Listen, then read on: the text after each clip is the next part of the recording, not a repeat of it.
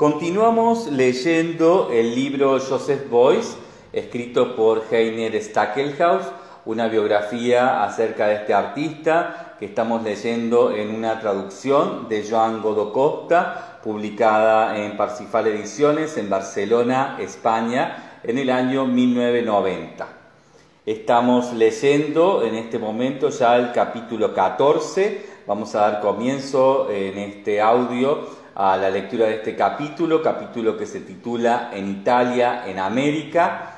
Es un capítulo dedicado a eh, ir cerrando ya esta biografía, es eh, tal vez el comienzo del cierre de esta biografía, ¿no? si me permiten decirlo de este modo.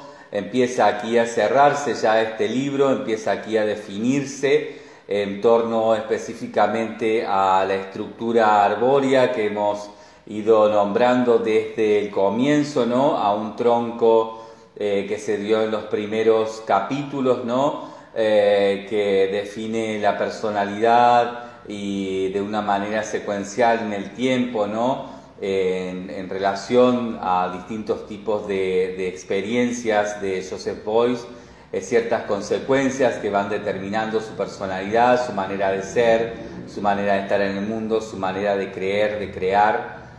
Eh, un tronco que se asienta firmemente en eh, raíces eh, ideológicas, en raíces utópicas, en raíces, podríamos decir, idealistas,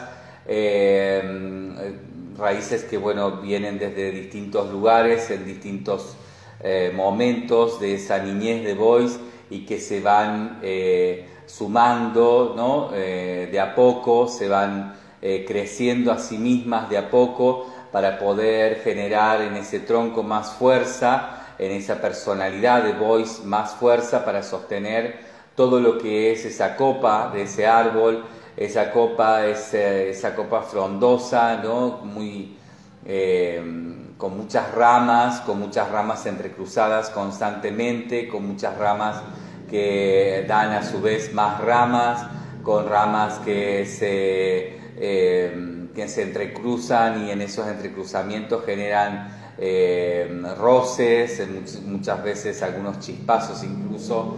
Eh, un voice que bueno, hemos venido viendo entonces estructurado así en esta biografía, una biografía que en los primeros capítulos trata entonces de este tronco, de estas raíces, y luego se va abriendo a una simultaneidad de sucesos en la vida de Boyce a partir del año 59 aproximadamente, que es cuando Boyce, después de la guerra, después de haber participado, de sido parte de su, a partir de, valga la redundancia, a partir de su eh, servicio militar obligatorio en las fuerzas militares hitlerianas, ha participado de la Segunda Guerra Mundial siendo muy jovencito y eh, luego de eso ha vivido una situación postraumática muy difícil, una situación postraumática relativa a la guerra, eh, detonada por algunos, eh, bueno, por algunos acontecimientos personales que lo dejan en una situación de una depresión muy profunda, depresión que eh, lo lleva otra vez a estar al filo de la muerte, como había estado en algunas ocasiones en el momento de la guerra, ¿no? cuando había sufrido ataques eh, o había, había, sido parte, digamos, ¿no? de algunos eh, momentos de combate donde en el ataque había sido herido y también a su vez siendo prisionero de guerra sobre el final de la guerra, cuando bueno, había sufrido también un peligro de muerte ¿no? a través de, cierto tipo de exterminio final que se realizaba sobre algunos tipos de, soldados y tipos de, bueno, en este caso las fuerzas militares nazis. Eh, para este caso, Boyce nunca victimizándose, sino eh, siempre poniendo en claro las cosas, eh, aunque tal vez sin muchas palabras, eh, habla de las impresiones de la guerra recién después, de los, después del año 60 y es cuando puede recién dar cuenta de lo que había pasado de lo que había vivido, de lo que había experienciado en esa situación extremadamente fuerte de la que fue parte eh, y que, mm, bueno, en esa depresión eh, fue de alguna manera procesando y luego sanando, curando, hasta que, bueno, según los datos que tenemos aquí en la biografía, en el año 58 se lo empieza a ver ya recuperado y entre el 58 y el 61 vemos a un Boyce que empieza a, definirse dentro del arte y eh, empieza a definir el campo del arte como un campo eh, de, transformación social en la cual eh, él va a ser un medio para generar nuevos transformadores sociales que van a ir a través del paso del tiempo en las futuras generaciones modificando la sociedad para que no vuelva a caer en esos horrores y errores enormes que fueron la Primera y la Segunda Guerra Mundial. Un voice muy claro, ¿no? que ha quedado extremadamente bien definido en esta biografía, con pocos datos, con tal vez seguramente muy poca relación eh, bibliográfica, eh, pero con una narrativa eh, muy convincente, una narrativa que se va eh, capítulo a capítulo reforzando a sí misma en detalles, en ciertas pequeñas cosas que el autor va manejando y va jugando sobre el paño del texto para poder ir definiendo a este Joseph Boyce tanto en su vida como en su obra a partir del tercer capítulo aproximadamente empezamos a ver ya esta superposición ¿no? De acciones y de situaciones, de obrares, de voice, en torno ya a su, a su ser artista, a un ser artista muy prolífero que genera muchos movimientos, que genera muchas organizaciones, que genera mucha obra, que genera mucho obrar que genera eh, incluso muchas piezas académicas en torno a la escultura, en torno al dibujo, etc. Un Boyce que empieza a ser un referente del nuevo estilo de vida alemán que se pretende a partir de eh, una idea socialista, de una nueva idea del mundo, de una idea que bueno, eh, intenta Alemania eh, implantar eh, de una forma muy clara en el mundo en torno a ser una de las potencias mundiales que en, torno a la guerra ¿no? queda en, posición estratégica para así lograrlo. no va a ser hasta varios años después, ¿no? cuando esto va a realmente suceder, pero Boyce es desde el comienzo la gran estrategia de expansión cultural, de definición cultural de la nueva Alemania, que no solamente la usa el Estado, sino que también la usa la cultura en general y eh, sobre todo la cultura europea que eh, trataba de imponerse a la nueva cultura norteamericana, especialmente la cultura neoyorquina, que por supuesto después de la guerra mundial sabemos, ¿no? por todas o por en general las historias del arte, había ganado mucho terreno en torno a ser la, la principal potencia del arte del mundo, de la cultura del mundo, del mundo internacional de ese momento, ¿no? Un mundo internacional básicamente eh, conformado por las primeras principales capitales europeas y por Nueva York. Eh, Alemania quiere participar de esto, quiere participar de una manera progresista, de una manera eh, reformista y sobre todo de una manera que eh, valore al ser humano, que mm, diría yo incluso ¿no? casi exagerando esa valoración en torno a, a poder limpiar cierto horror que estaba flotando todavía en el aire, ¿no? acerca de lo que había sido eh, el exterminio en el nazismo y que eh, bueno, había generado ¿no? una conciencia acerca de Alemania como de una poca calidad de empatía ¿no? con lo humano. Eh, Boyce representaba todo lo contrario, Boyce representaba una gran empatía con lo humano, representaba una gran empatía con el ser humano en todo sentido y sobre todo en torno a su creatividad, a su capacidad creativa de eh, cambiar el mundo, de hacer un mundo nuevo, de reformar, de modificar todo aquello que no estaba funcionando bien, todo aquello que la guerra había denunciado de muchas maneras, ¿no? directa e indirectamente, que en el mundo no funcionaba bien y que eh, los seres humanos eran los responsables de cambiar para el futuro de esa humanidad en torno a un mayor bienestar. Eh, esta bandera que es Voice para Alemania es una bandera que se comparte ¿no? Eh, en un podio en el que bueno, está también, por ejemplo, Andy Warhol, ¿no? una de las banderas también norteamericanas, aunque no tal vez la oficial, ¿no? la oficial del Estado eh, norteamericano, ¿no? que en todo caso para esa época eh, para la época de, ya de la Guerra Fría, ¿no? que es cuando esto empieza a suceder, de las guerras frías podríamos decir. Eh, eh, para esta época, bueno, no, no era precisamente Andy Warhol esa bandera, ¿no? Esa bandera eran seguramente otros artistas más referidos a los neoexpresionistas, pero como por ejemplo Pollock, como por ejemplo Rothko, etcétera, eh, no obstante.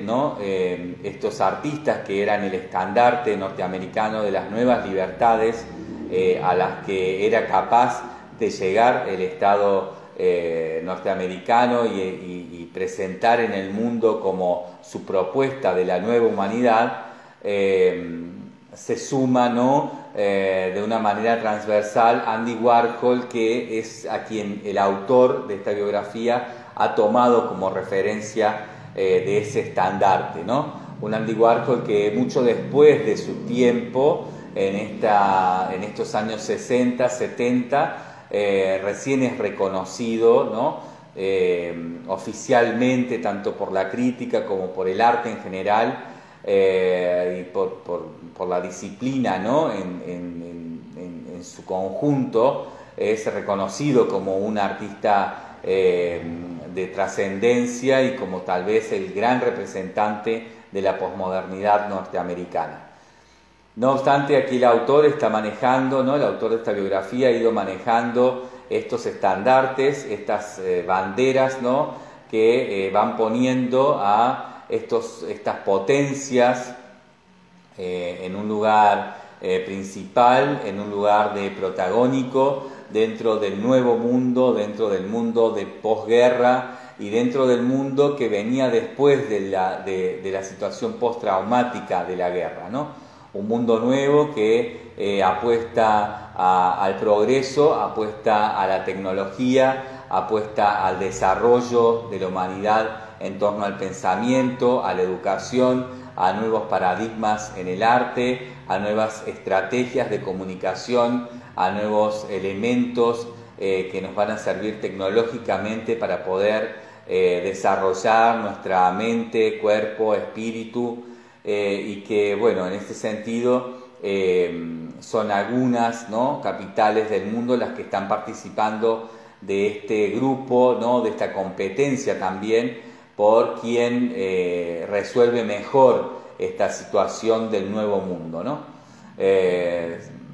está ocurriendo, ¿no? Esto entonces en algunos lugares está ocurriendo esto en lo que se entiende como mundo internacional, ese mundo internacional, eh, insisto, dado entre eh, las principales capitales europeas, algunas principales capitales europeas y Nueva York. Eh, Joseph Boyce entonces, un artista que trabaja de una manera muy particular que mm, muchas veces es el gran protagonista de extremos incidentes, de extremas eh, situaciones no muy claras para la definición de arte del momento y sobre todo para la definición de lo que este, eh, este Estado alemán pretendía divulgar en torno a su noción, ¿no? a su ideología, a su doctrina del nuevo mundo. Un Boyce que es muy contradictorio, que resulta muchas veces muy paradójico, pero que siempre termina airoso, eh, rescatándose a sí mismo de cualquier arena movediza, de cualquier pantano, de cualquier situación en la que pudiera caer en error un Boyce que es un personaje absolutamente magnético, un personaje que es hipnótico, un personaje que se lo puede entender incluso chamánico, aunque eh, no estuviera en él en un principio esa noción eh, directamente relacionada a su hacer, ¿no? Sí, por supuesto, Boyce estaba, como ya lo vimos también, eh, muy afectado por lo chamánico desde muy pequeño, pero no necesariamente eh, en su práctica hasta mucho después, ¿no? Sí, primero afectado por la idea del pastor, la idea del pastor que guía a las ovejas, que cuida a las ovejas, ¿no? Una idea cristiana, una idea de venida del cristianismo, que es la primera idea ¿no? que, que Boyce persigue y de donde eh, va a tomar la noción de plástica la noción de plástica que va a utilizar para su plástica social, es decir, una manera de moldear a los individuos en torno a una ideología de bienestar común, a una ideología de bienestar socialista, eh, con ciertos cortes de teoría comunista, eh, en la cual eh, este moldeado ¿no? lo que va a buscar es que el arte sea el eje de la formación de los seres humanos, para que a partir de eso se dediquen a lo que se dediquen, puedan tener herramientas creativas con las cuales ir eh, estimulando la innovación constante de sus disciplinas y desde un lugar moral poder cambiar para bien la realidad.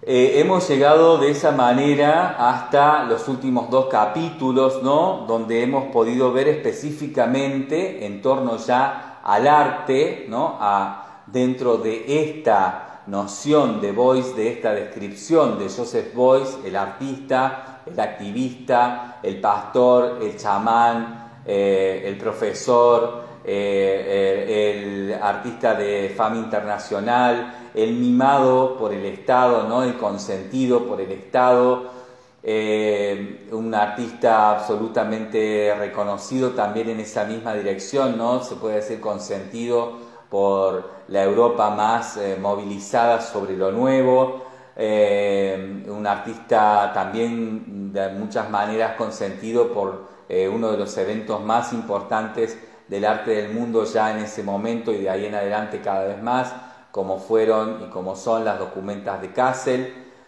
Eh, un artista que, bueno, vimos ¿no? en, esa generalidad en torno a su vida, también a su biografía y al arte que producía, ¿no? al arte que entre vida y arte obraba, ¿no?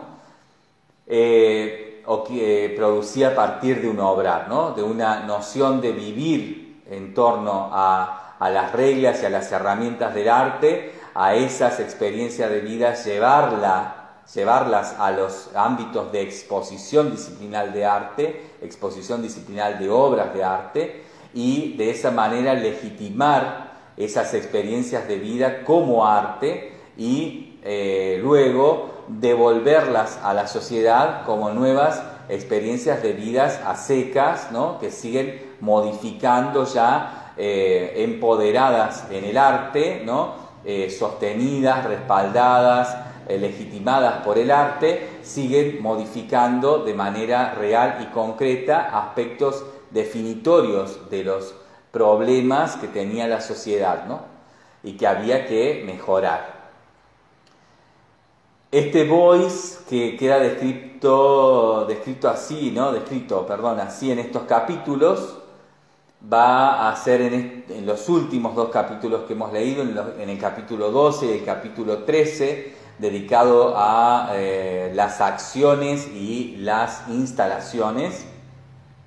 Dos capítulos que llevan eh, estos nombres, ¿no? El capítulo número 12 lleva el nombre de las acciones, donde la palabra acciones está entre comillas, y el capítulo 13 lleva el nombre de, eh, las instalaciones, donde instalaciones está entre comillas. Este voice entonces que hemos podido descubrir en los primeros capítulos, donde también se ha hablado por supuesto de obrar, de obra, de acciones, de instalaciones, etcétera, ¿no? muchos etcéteras, eh, lo hemos no obstante podido definir en torno específicamente a lo general de ese obrar, ¿no? Hemos podido ver por qué Boyce, haciendo lo que hacía, era determinado artista, podía legitimarse como tal y había tenido eh, la trascendencia y la importancia mundial internacional en el mundo del arte que había tenido. ¿no? Eh, Luego de eso hemos visto entonces qué es lo que hacía específicamente Boyce ¿no? en torno a las categorías disciplinales que en el momento en que se escribe esta biografía, que es eh, finales de los años 80, eh, está disponible ¿no? como categorías posibles para poder entender lo que Boyce hacía, que eran, por ejemplo, las acciones, el arte de acción, el accionismo, ¿no? cierto tipo de categorías que eh, también en este caso se comparte con la performance, eh, em, el, environment o el espacio activado para poder definir eso que Boyce había venido haciendo dentro de cierta normalización en el arte eh, de las piezas de del obrar de Boyce, ¿no? de lo que Boyce había constituido como obras de arte.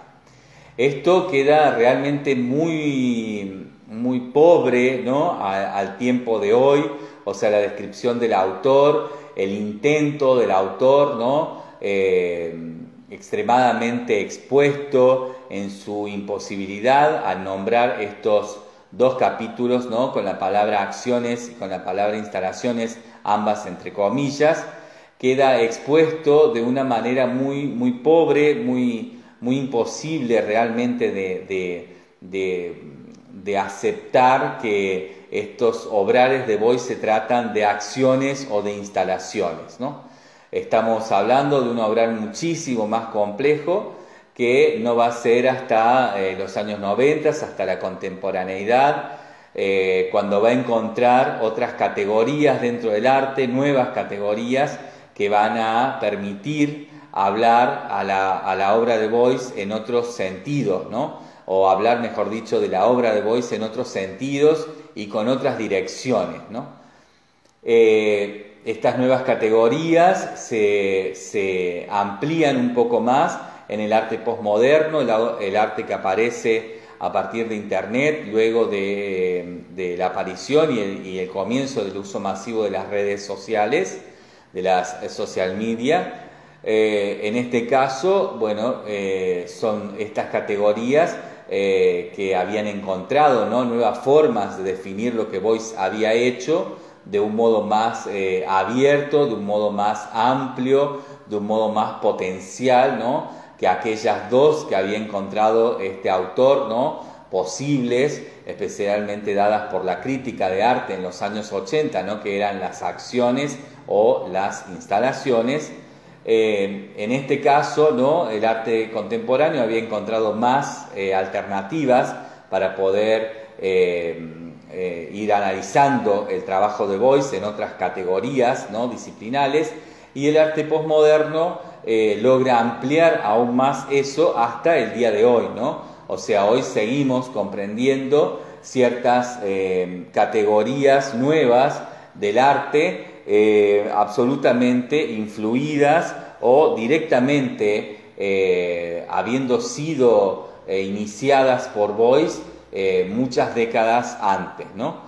hay categorías del arte actual, del arte que se entiende como postcontemporáneo, que mm, no solamente remiten directamente ¿no? a Boyce ya de una manera muy, muy muy suave, ¿no? De una manera muy aguada, podría decirse, ¿no? Ha pasado mucho tiempo, eh, se ve, bueno, muy radical a otro momento de la historia de la humanidad, este obrar de Boyce. y eh, lo que ha llegado hasta aquí ha llegado más que nada y sobre todo a partir de los seguidores de Voice y de la obra de los seguidores de Voice.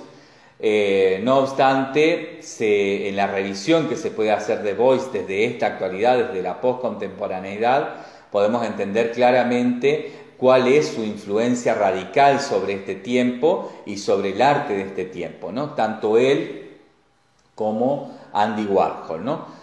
No de manera directa, insisto, sino a través de sus seguidores, a través de los artistas que los tomaron como referencia, como base en el arte contemporáneo, arte que va aproximadamente desde el año 1990 hasta el 2007, ¿no? desde aproximadamente ese, momento posterior inmediato a la caída del muro de Berlín hasta el momento en que las redes sociales, eh, Facebook y Twitter, empiezan a ser de uso masivo. Ese arte contemporáneo tiene muchos artistas que revisan a Boyce y a Warhol y que trabajan con esos paradigmas postmodernos para eh, deconstruirlos y eh, darles nuevos sentidos en lo que se entiende como arte contemporáneo. Sobre esos artistas es sobre los que se trabaja hoy en revisión, ¿no? Y indirectamente se trabaja revisando entonces a, a, esos padres, ¿no? A esas matrix que fueron Warhol y Boyce en la postmodernidad. Esta posmodernidad que, como bien lo dice el término, viene después o es acerca o es sobre la modernidad, el arte moderno específicamente, liderado, ¿no? Eh, comenzado ¿no? todo este proceso de ramificaciones que llegan hasta hoy por un primer punto, por un primer, eh, por un primer Big Bang, podríamos decirlo, ¿no? que es Marcel Duchamp. Eh, el arte post contemporáneo, el arte actual es absolutamente duchampiano, pero no de manera directa, es un arte duchampiano que es eh, indirecto en la figura de Boyce y la figura de Warhol y que es mediado por sus seguidores del arte contemporáneo, ¿no? sus seguidores artistas protagonistas del arte contemporáneo y bueno, revisado ¿no? y pudiendo ser eh, nuevamente tomado como referencia en este arte de la actualidad, ¿no? en esto que entendemos como arte postcontemporáneo eh, en este momento, ¿no? el año 2020, año 2021. Vamos entonces a, continuar leyendo, en este caso, qué sucede después de que se, se trata ¿no? de, en esta biografía, de establecer en, una especie de diálogo, de negociación con las definiciones eh, de la crítica de arte, de la historia del arte, más relativa a la crítica de arte, siempre vale decirlo, ¿no? Eh, una crítica de arte mucho más relativa a los medios, a los más medias, ¿no? Del momento de los años 80 que a la academia. Una eh, crítica de arte ya virando ¿no? hacia un mundo globalizado, hacia un mundo neoliberal, hacia un tipo de crítica de arte de mercado y no una crítica de arte como empezó siendo, ¿no? más en relación a una eh, expresión de extensión académica, ¿no? una crítica de arte que ya se alejó de la academia que está mucho más cerca del mercado y que empieza a trabajar con los mercados de arte en torno a la idea de mundo globalizado, a la idea de neoliberalismo. Este, en este caso, esta crítica de arte es la que da estas posibilidades para que la obra de Boyce sea nombrada como arte, sea legitimada como arte dentro de las categorías de acción, accionismo, arte de acción, incluso en algunos casos, ¿no? Performance o eh, instalación, environment o em, eh, espacio activado. Cuando digo espacio activado siempre también nos estamos refiriendo de alguna manera a idea de lugar barra no lugar, ¿no? Ya lo hemos explicado un poco en los capítulos, eh, en el capítulo anterior específicamente, ¿no? Esta noción de un, de un catálogo de elementos de voice que son posibles de eh, combinar de distintas formas para lograr distintos resultados en distintos lugares del mundo sin necesariamente que esté voice, ¿no? una especie de experiencia de recetario, no una experiencia todavía al menos eh, en torno a, un arte por, instrucción, eh, sino más a un arte en torno a lo recetario. Lo hemos hablado, lo hemos definido y explicado en el capítulo anterior, no vamos a volver sobre eso, pero vale la pena nombrar. Luego de todo esto, entonces, de intentar darle a Boyce un lugar legítimo dentro del arte que empezaba a ser ya el arte contemporáneo, ¿no? empieza en realidad a, mezclarse, a solaparse con el final de la postmodernidad. Eh, el próximo arte, ¿no? El arte que se llama contemporáneo, empieza a solaparse aproximadamente a principios de los años 80, ¿no? Más o menos de acuerdo al país, eh, en el año 84 o en el año 86, o en el caso de Estados Unidos podría decirse que en el año 81 bueno, hay distintos años, pero en, la primera, en el primer momento de los años 80 empieza a terminarse, ¿no? Es es el, se empieza a dar el fin de la, eh, del arte postmoderno y empieza a aparecer eso que se va a llamar, se va a denominar luego eh, arte contemporáneo.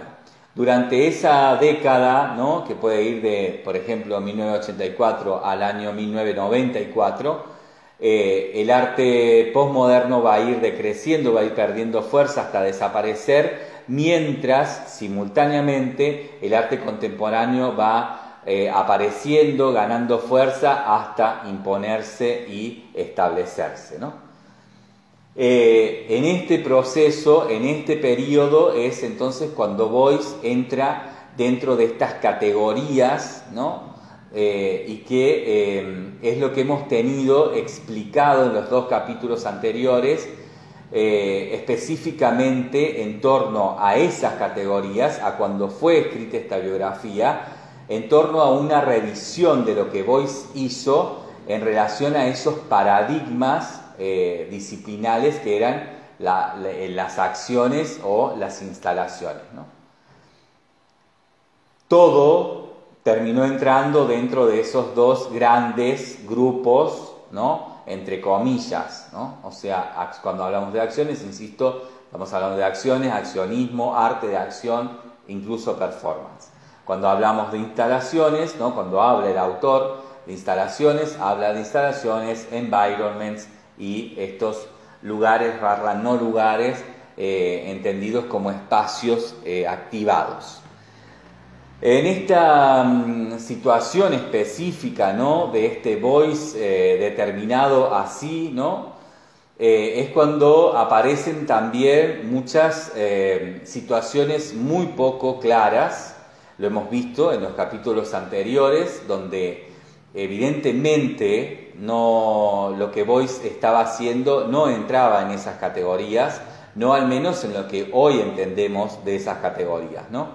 Eh, la gran mayoría de las cosas que Boyce estaba haciendo no eran ni acciones, ni arte de acción, ni accionismos, ni performance, ni instalaciones, ni environments, ni espacios activados o este lugar barra no lugar, eh, ya este, de alguna manera ¿no? este, premonitorio del arte, eh, de lo que iba a ser el arte contemporáneo.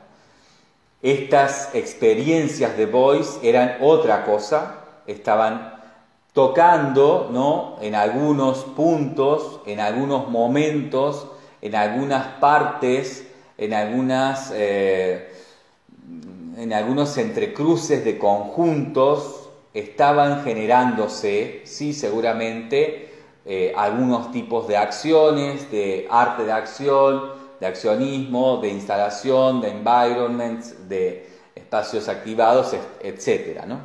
Seguramente que había también de eso, pero no necesariamente esa era la posibilidad de categorizar eh, desde la crítica, ¿no? Eh, como hoy podríamos verlo. ¿no? En ese momento sí, pero hoy podemos ver claramente que eso no alcanzaba, ¿no? que eso fue forzar las cosas a lo que en ese momento había disponible, que eran estas categorías. Entonces, en este forzar las cosas, en este forzar este obrar de Boyce para que entre dentro del accionismo, el arte de acción, eh, la performance, eh, eh, las acciones, la instalación, el environment, el espacio activado, el no lugar barra lugar o lugar barra no lugar, ¿no? Toda esta noción lo que va dejando es una cierta de una cierta eh, eh, expresión, una cierta noción de oblicuidades sin género, ¿no? Una especie de transgénero, si se pudiera hablar, ¿no? Si me permiten el término, en torno específicamente a los géneros disciplinales en arte, ¿no? Estos transgéneros, que Boyce además trabajó eh, incluso en algunas literalmente en, algunas, eh, en algunos títulos de sus obras, ¿no? Lo hemos visto. Trabaja ¿no? con esta idea de lo trans, aunque juega con algunas cosas muy, muy determinadas, ¿no? cosas este, que no parecería está haciendo ese juego, pero evidentemente lo está haciendo porque esta situación de que aparezca en esta biografía la palabra acciones y la palabra eh, instalaciones, ¿no? como parte de títulos de dos capítulos muy importantes y que aparezcan estas palabras entre comillas, significa que eh, Boyce entendía claramente que, todo esto que él hacía estaba desbordado de estas posibilidades de eh, determinación en el arte como categorías disciplinares. Boyce sabe esto y sabe también de, de la posibilidad de lo transgénero, ¿no? sabe de, la posibilidad de, esa noción que ya empezaba a ser en el arte y por supuesto en todos los ámbitos de, eh, la cultura, ¿no? en, distintos ámbitos de la cultura, por supuesto además en la expresión de los cuerpos. Eh, en ese sentido entonces es que Boyce eh, plantea muchos de sus trabajos también a propósito en, este, en esta revisión que hace junto con el biógrafo, porque evidentemente eh, este biógrafo, ¿no? Henry Stackelhaus, es un biógrafo que trabajó a la par con Boyce para escribir esta biografía, o por lo menos para determinar los ejes fundamentales de la investigación que dio por resultado la escritura de este texto, de esta biografía. Boyce entonces en esa revisión de todo su obrar junto con Stackelhaus y de acuerdo a la conveniencia tanto de Boyce como de Stackelhaus en torno a ser un escritor de biografía de artista en este caso, ¿no? un género muy particular dentro de unas artes ¿no? bastante eh, poco rigurosas para el momento, ¿no? una, la biografía de artista en esa época, también lo hemos dicho en capítulos anteriores, lo hemos explicado, no terminaba de entrar ni dentro de la literatura, ni dentro de la crítica de arte, ni dentro de la revisión biográfica eh, documental, era algo ¿no? que estaba como en una especie de, eh, de, de bordes que no terminaba de ser ninguna cosa y a la vez era parte de todo, ¿no? Incluso en algunos casos también, no en este caso, pero en algunos casos también se determinaba como expresión filosófica. ¿no? Eh, Boyce, en este sentido, conoce esto, deja que Stackelhaus haga su negocio con esta biografía, básicamente, deja que Stackelhaus haga su emprendimiento con esta biografía, que genere su empresa, o sea, un emprendimiento de escritura biográfica de carácter cultural con una función social determinada y específicamente dada en la posibilidad de nombrar a Boyce en una complejidad clara, determinada, que no por compleja sea complicada y que para esto eh, se sirve de todas las herramientas ¿no? de lo que Boyce había ido planteando y seguramente también le habrá ido enseñando, bueno, habría que ver, ¿no? No nos vamos a meter en esa parte todavía, eh, lo vamos a ver en capítulos, eh, ya en el próximo capítulo, ¿no? cerrando este, este libro, esta biografía. Eh, Boyce, de alguna manera, seguramente le había enseñado a Stackelhaus a manejarse con la verdad en torno de aquello que él había entendido como lo en verdad y que se definía según sus intereses y que, le, que Stackelhaus hizo lo mismo en relación a sus propios intereses, ¿no? Tanto Boyce como Stackelhaus definieron en esta biografía sus intereses de acuerdo a una manipulación de lo en verdad como lo verdadero definitorio. Esta biografía termina entonces definiendo a un Boyce en lo verdadero de ese obrar de Boyce, que no es eh, ni en verdad lo que fue, ni es la verdad de lo que fue, ¿no? Es lo verdadero en relación a una verdad modificada eh, de acuerdo a los intereses del momento, que fue este último momento, los años 80, cuando Boyce empieza a tener una noción ¿no? de que está cerca su muerte por distintas situaciones de salud y demás, ¿no? Eh, que ya también lo ha comentado el autor en capítulos anteriores, y que bueno, empieza a ver claramente, eh, tiene eh, bueno, un, un, tiempo, ¿no? le queda un tiempo donde hay que definir, donde es necesario que él defina, que defina junto con Stackelhaus para que quede planteado lo verdadero de su trabajo y no lo que en verdad fue o la verdad de lo que ocurrió, ¿no? porque a Boyce no le interesa, no le sirve, no es lo que quiere legar en torno a su doctrina, es decir, que pueda servir como un texto abierto, un texto vivo, que se pueda manipular en relación a poder formar en artes a cualquier ser humano con herramientas para dedicarse a lo que sea que se dedique, eh, eh, ser creativo y de esa manera modificar para bien, en términos morales, eh, el mundo. ¿no? Es entonces esta biografía, esa definición en torno a los intereses de Boyce, a los intereses de Stackelhaus y a los intereses de coleccionistas, instituciones y muchas otras situaciones ¿no? que están siendo parte como eh, protagónicos de la definición de esta biografía, ¿no? Entre ellos, por supuesto, también, por ejemplo, como lo hemos venido viendo, la documenta de Kassel, ¿no? El Estado alemán, etcétera, ¿no? Lo hemos venido viendo.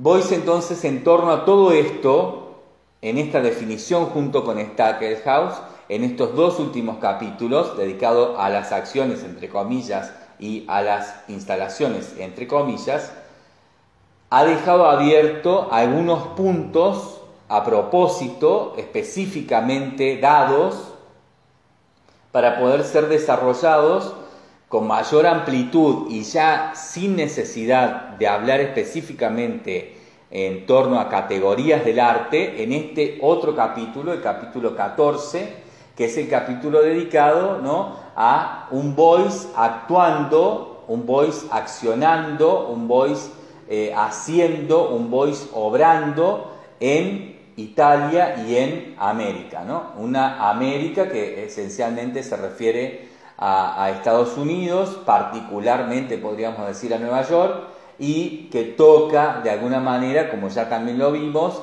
a alguna... Eh, eh, capital importante de Sudamérica, como puede ser San Pablo en torno a la Bienal de San Pablo. Vamos entonces a leer aquí eh, esta ampliación de algunos aspectos que han quedado poco desarrollados en el capítulo de las acciones y el capítulo de las instalaciones, porque justamente el desarrollo no iba en torno a esa categorización, el desarrollo va en torno a otras cuestiones que vamos a ver estratégicamente planteadas, tanto por el autor de esta biografía como por Boyce, en este capítulo para terminar de darle forma, ¿no? para terminar de modificar plásticamente, para terminar de moldear plásticamente lo que en verdad fue la vida y el obrar de Boyce en esto que se define como lo verdadero de Boyce a partir ¿no? de esta eh, biografía. Comenzamos entonces a leer este capítulo, vamos a ver eh, si podemos hacerlo em, en, una sola lectura, no vamos a, ahondar mucho, ya no hay, aquí ya no hay mucho para, para ampliar, creo que ya en, general hemos ampliado todo lo que era necesario. Vamos a, ver que en, relación se, se, va a ir repitiendo mucho de lo que ya hemos dicho. Eh, tal vez para leer este capítulo, siempre lo recomiendo, ¿no? lo, hago yo también incluso. Eh, para, para, leer este capítulo es necesario haber releído, ¿no? haber leído dos veces los capítulos anteriores desde la introducción inclusive. ¿no? Eh, si leemos los capítulos anteriores desde la introducción inclusive, no nos hace falta hablar mucho más de, lo que el autor va a estar diciendo, porque va a quedar clarísimo ¿no? todo lo que está planteando y cómo entre el autor Stackelhaus, ¿no? el autor de esta biografía, y Boyce están definiendo en relación a lo verdadero que quieren trascienda como herramienta para la creatividad en, relación ¿no? a, lo que fue la vida y el obrar de Boyce. Vamos entonces a tomar esta posibilidad. Eh, les invito a que cuando queden dudas o que queden eh, algunos parámetros que no se terminen de, entender o que recuerden que se nombraron pero no tienen con exactitud el dato, vuelvan a, leer, en este caso vuelvan si quieren, por supuesto, a escuchar estos audios ¿no? que hemos ido haciendo de cada capítulo, eh, para que puedan retomar esas nociones con cierto tipo de prolijidad y de exactitud. Eh, no voy a en este capítulo ya repetir ¿no? todo esto que vengo repitiendo incansablemente en cada ocasión eh, de explicación, ¿no? explicando siempre más o menos lo mismo. Creo que los conceptos están fijados ya, que ya entendemos claramente, deberíamos entender claramente de qué se tratan por lo menos las cuestiones esenciales, fundamentales de la doctrina de Boyce, de su manera de moverse, de su manera de obrar y sobre todo de su manera de establecer como verdadero lo que en verdad ha determinado de la verdad de lo que ha pasado, ¿no? de lo que ha vivido, de lo que ha sucedido, de lo que ha ido eh, experienciando, haciendo, etc. Eh, vamos entonces a leer este capítulo un poco más, este, más, eh, más literal, sin hacer tantas, tantas interrupciones de ampliación. Eh, y vamos a tratar de hacerlo entonces a esta lectura para que también quede mucho más contundente eh, y claro en una sola, en un solo audio. Vamos a ver si tenemos la posibilidad realmente de hacerlo. Comienza entonces este capítulo, el capítulo número 14 de este libro eh, de Heiner Stackelhaus, Joseph Boyce, esta biografía eh, comienza este capítulo que lleva por título En Italia, en América, diciendo lo siguiente. En cuanto a Italia, esta nación fue el gran amor de Joseph Boyce. En ningún otro país de Europa expuso con tanta frecuencia. A partir de 1971 lo hizo unas 35 veces, considerando únicamente en este número las exposiciones individuales, las acciones, instalaciones y sus conferencias. Actuó en Roma, Venecia, Pescara o Pescara, eh, Perusa y Bolognano, que incluso le nombró ciudadano de honor en 1984. Estas son las ciudades que por lo general recibieron y acogieron a Boyce ¿no? en estas expresiones de su obra. Pero el mayor apego, continúa diciendo el autor, lo tenía a Nápoles, ciudad también de la que hemos hablado mucho en, capítulos anteriores, donde en noviembre de 1971 expuso por primera vez y en diciembre de 1985 celebró su retirada artística en el Museo di Capodimonte con aquella obra, ¿no? aquella eh, intervención llamada Palazzo Regale. Boyce sometió a discusión numerosos aspectos de su obra entre los años 1971 y 1985 en Nápoles. Desde allí realizó sus 13 in Italia, un, nombre de una, de estas experiencias de obrar, también sus huellas en Italia, ¿no? otra experiencia de obrar, como rezaba el título, en este caso, dice el autor, de una gira de exposiciones que duró, varios años con contenidos diversos. El que preparó el camino del éxito para Boyce en Italia fue Lucio Amelio, también alguien de quien ya hemos hablado específicamente, ¿no? hemos explicado con detalles quién era. Aquí nos nombra el autor, entonces a Lucio Amelio nos dice que era galerista de vanguardia, marchante, amigo de las artes y mecena. ¿No? Mecenas. Continúa diciendo el texto, los sentimientos del napolitano Amelio hacia el amigo del Bajo Rin, ¿no? Joseph Boyce, se manifestaron en un escrito necrológico dedicado a Joseph Boyce, es decir, un escrito luego de la muerte de Boyce. ¿Qué dice? Dice en este caso eh, Lucio Amelio. Boyce reunió sus últimas fuerzas y regresó de nuevo a su amada Nápoles. Pienso ahora en los últimos días de Navidad que pasamos juntos, cuando Joseph, con discreto cuidado, iba colocando sus objetos en las vitrinas del Palacio Regal. Quizás ya sabía que estaba escribiendo su Te Deum. Permaneció todo el día sin preocuparse de la muerte que le aguardaba. Me ha quedado el recuerdo de su emocionado semblante, ¿no? de su emocionado semblante durante la misa de Gallo en la iglesia de Amalfi. Amalfi. Se había quitado, en este caso, ¿no? en la misa, el sombrero y de pronto me pareció verlo viejísimo. Él, incrédulo, casi tenía lágrimas en los ojos en, los ojos en ese momento. Entonces comprendí que estaba conmovido por el dolor y la esperanza que reflejaban los rostros de los fieles presentes y tengo esta imagen ante mis ojos ahora que le estoy llorando. Un Lucio Amelio absolutamente conmovido por la muerte de Boyce, ¿no? llorándole, hablando desde ese lugar ¿no? De su amigo y de aquel momento compartido eh, días antes, tiempo antes de su muerte.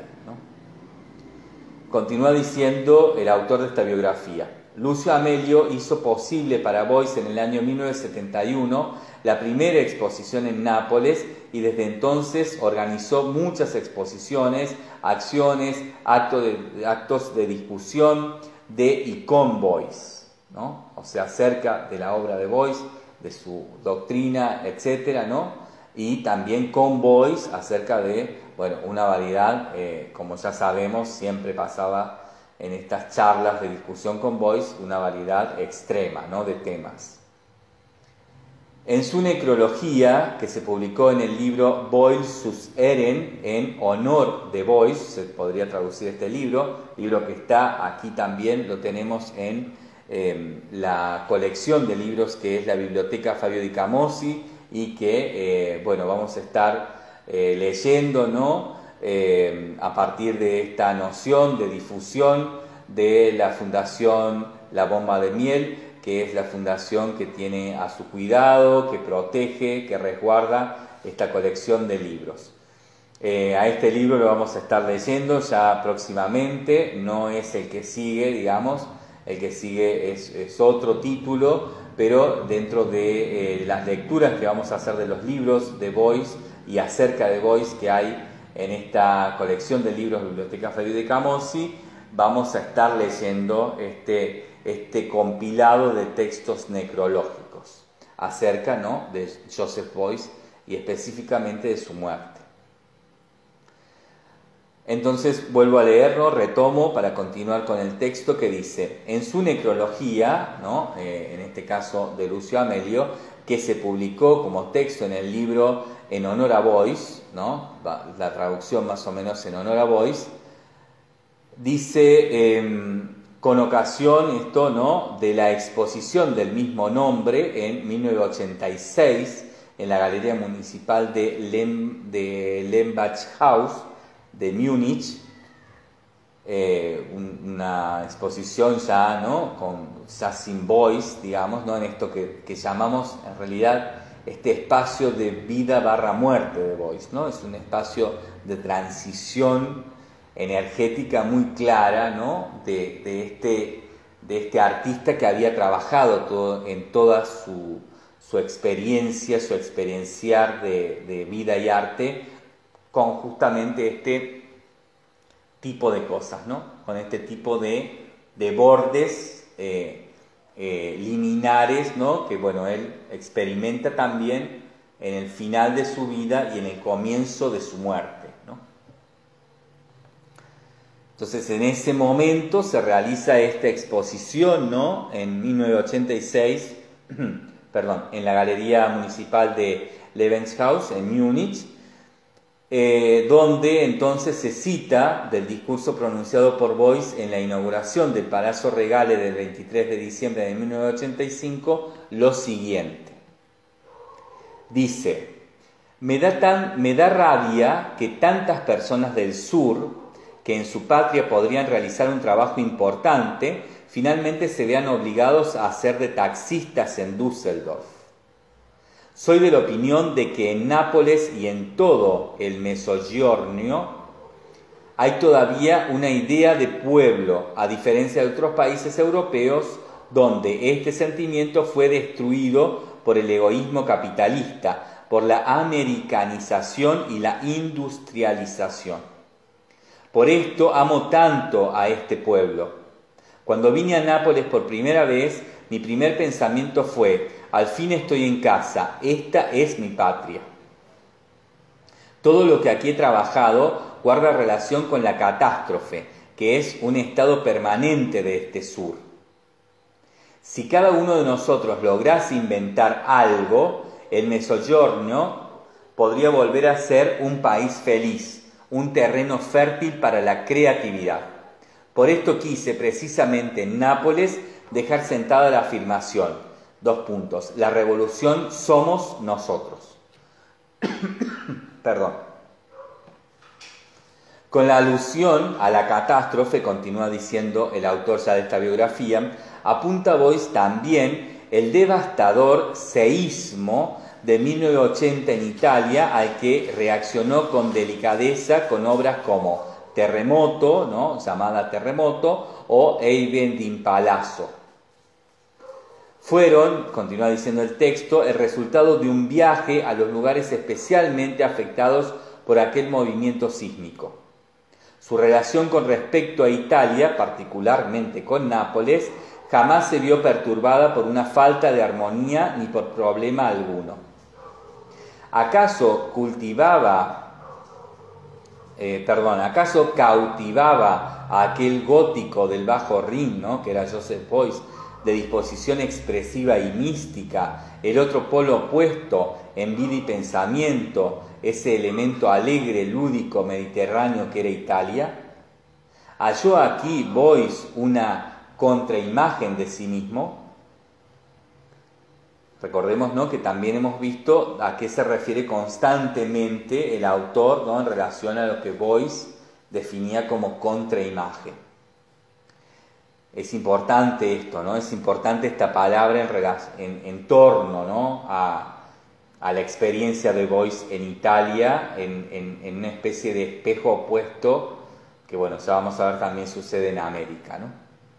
Pero aquí en Italia sucede de una manera pasional. Boyce encuentra su patria pasional, ¿no? Encuentra realmente la expresión pasional que nunca encontró como eco en su Alemania, específicamente ¿no? en ese norte, en ese Düsseldorf alemán.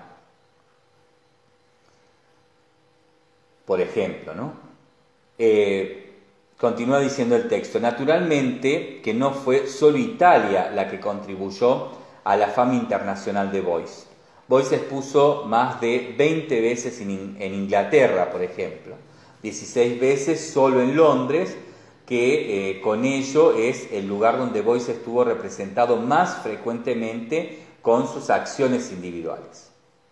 Y si a las 22 exposiciones inglesas añadimos las 7 exposiciones escocesas, entonces veremos que las Islas Británicas ocupan el segundo lugar después de Italia, donde Boyce expuso con mayor eh, cantidad de veces, ¿no? donde expuso eh, mayormente donde la mayor cantidad de veces de exposiciones de Boyce se dieron. A Italia, al Reino Unido, digamos, a estas islas británicas, le continúan Suiza, Austria, Holanda, Francia, Bélgica, Irlanda y Dinamarca. Estos son los países, los lugares donde Boyce más expuso, en un orden de cantidad de exposiciones. Continúa diciendo el texto. Unas dos docenas de veces estuvo Boyce en los Estados Unidos. Recordemos que esto también es un mito, ¿no? que acá está bueno, eh, está, está, eh, viene bien ¿no? romper ¿no? esta idea de que Boyce estuvo muy escasas veces en Estados Unidos y que Boyce cuando estuvo en Estados Unidos, ¿no? en aquella noción mítica también a partir de su acción Coyote, ¿no? de esa experiencia denominada Coyote, eh, Boyce ni siquiera pisó el suelo norteamericano. ¿no? Bueno, eso es un mito que también esta biografía se encarga de desterrar o de por lo menos asentar en su negativo inmediato, ¿no? en su opuesto claramente.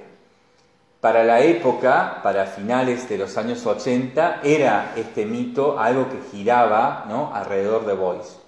La idea de que Boyce no quería pisar el suelo eh, americano, no quería ser parte de ninguna movida de exposición en América, más allá que se sabía de grandes exposiciones que se habían hecho, eh, pero no se sabía claramente si Boyce, por ejemplo, ¿no? en una especie de, de, juego de, tabloide, de, famoso, ¿no? De juego de alguna manera mediático respecto a un voice, a este voice escandaloso, a este voice eh, de, las páginas de Chimentos, ¿no? No se sabía claramente si cuando Boyce había expuesto había estado o no en América, ¿no? en Estados Unidos. Bueno, acá el autor nos va a explicar un poco esto, pero lo que importa es claramente decir que Boyce estuvo muchas veces en Estados Unidos, ¿no?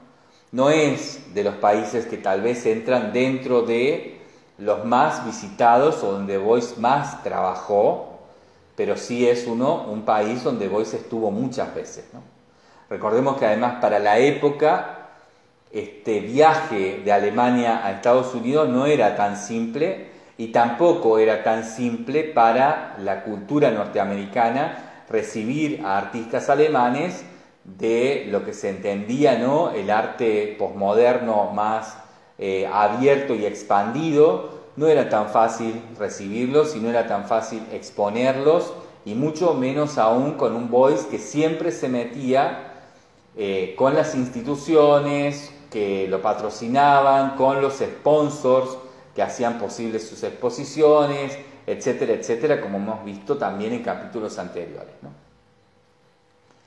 Em, continúa entonces diciendo el autor de esta biografía, voy a volver a, repetir, entonces retomo aquí lo que estaba diciendo, dice, unas dos docenas de veces estuvo Boyce en los Estados Unidos, en ellas unas 15 veces estuvo en Nueva York.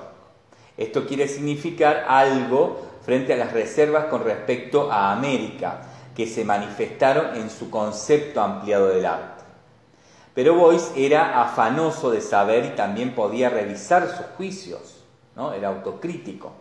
Sin embargo, América, especialmente Nueva York, que visitó por primera vez en 1973, siempre fue un hueso duro de roer para él. Perdón.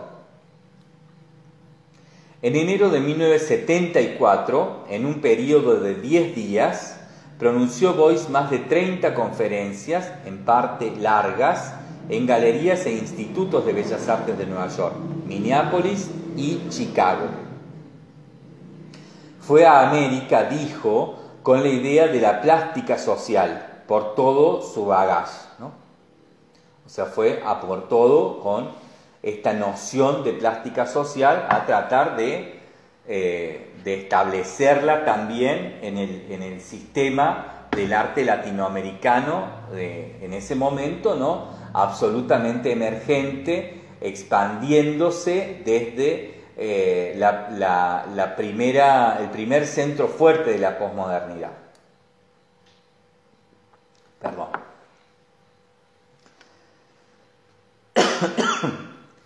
Continúa, continúa diciendo, continúa diciendo, perdón, el autor. Fue a América, dijo, entonces retomo, con la idea de la plástica social por todo bagaje. Y en todas partes intentó hacer ver claro a sus oyentes que el arte era la única fuerza verdaderamente revolucionaria del mundo. Su resumen de todas las conferencias y discusiones en América, en, Norteamérica, en Estados Unidos, fue muy bien acogido especialmente por la gente joven de ese país. A Boyce le pareció que los jóvenes eran allí menos agresivos y estaban menos radicalizados que, por ejemplo, los jóvenes de la República Federal de Alemania. Por supuesto hablamos ¿no? de una... Perdón, disculpe.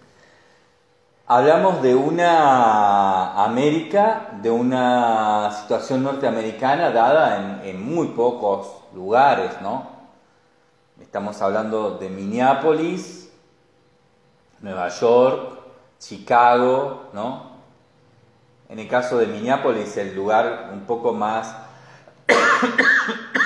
perdón, tal vez el lugar menos de avanzada, como se podría expresar en palabras de ese momento, ¿no? de ese tiempo, año 71, año 74, año 73, Pero Nueva York y Chicago sí, digamos, ¿no? Chicago por supuesto menos que Nueva York y Nueva York, bueno, el gran centro del arte del mundo, ¿no? Del mundo del arte. El resto de Estados Unidos no tenía... Perdón. Perdón, voy a tomar un poquito de agua.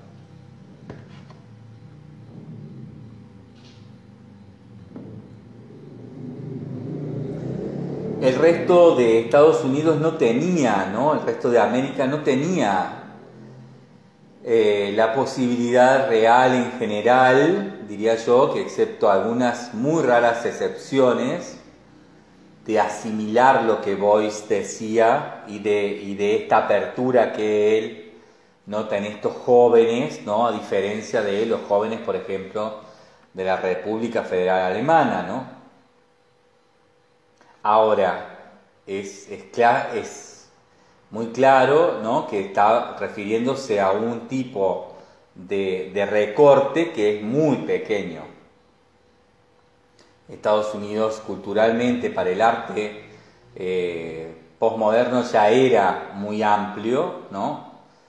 si bien absolutamente por autonomacia, ¿no? Nueva York era el centro, pero había mucho desarrollo en muchas ciudades, pero de distintas maneras.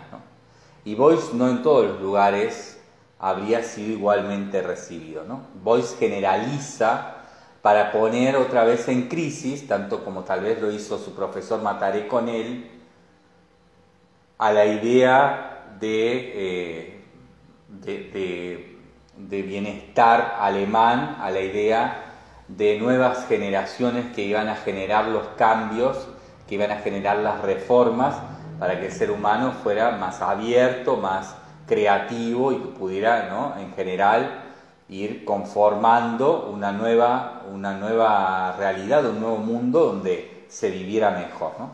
Boyce provoca con esta declaración a la juventud alemana, ¿no?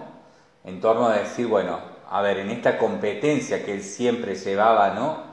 También lo hemos visto en los primeros capítulos, la razón, ¿no? Las razones por las cuales Boyce era tan competitivo, sobre todo actuando siempre a partir de, de, polaridades o lo que podemos entender como de polos binarios, ¿no? De algún modo hay una redundancia. Boyce era muy competitivo, ¿no? Entonces, eh, aquí, bueno, lo que genera es eso, bueno, a ver, eh, Estados Unidos está ganándole, ¿no? la, juventud norteamericana le gana en posibilidades a la juventud alemana, ¿no?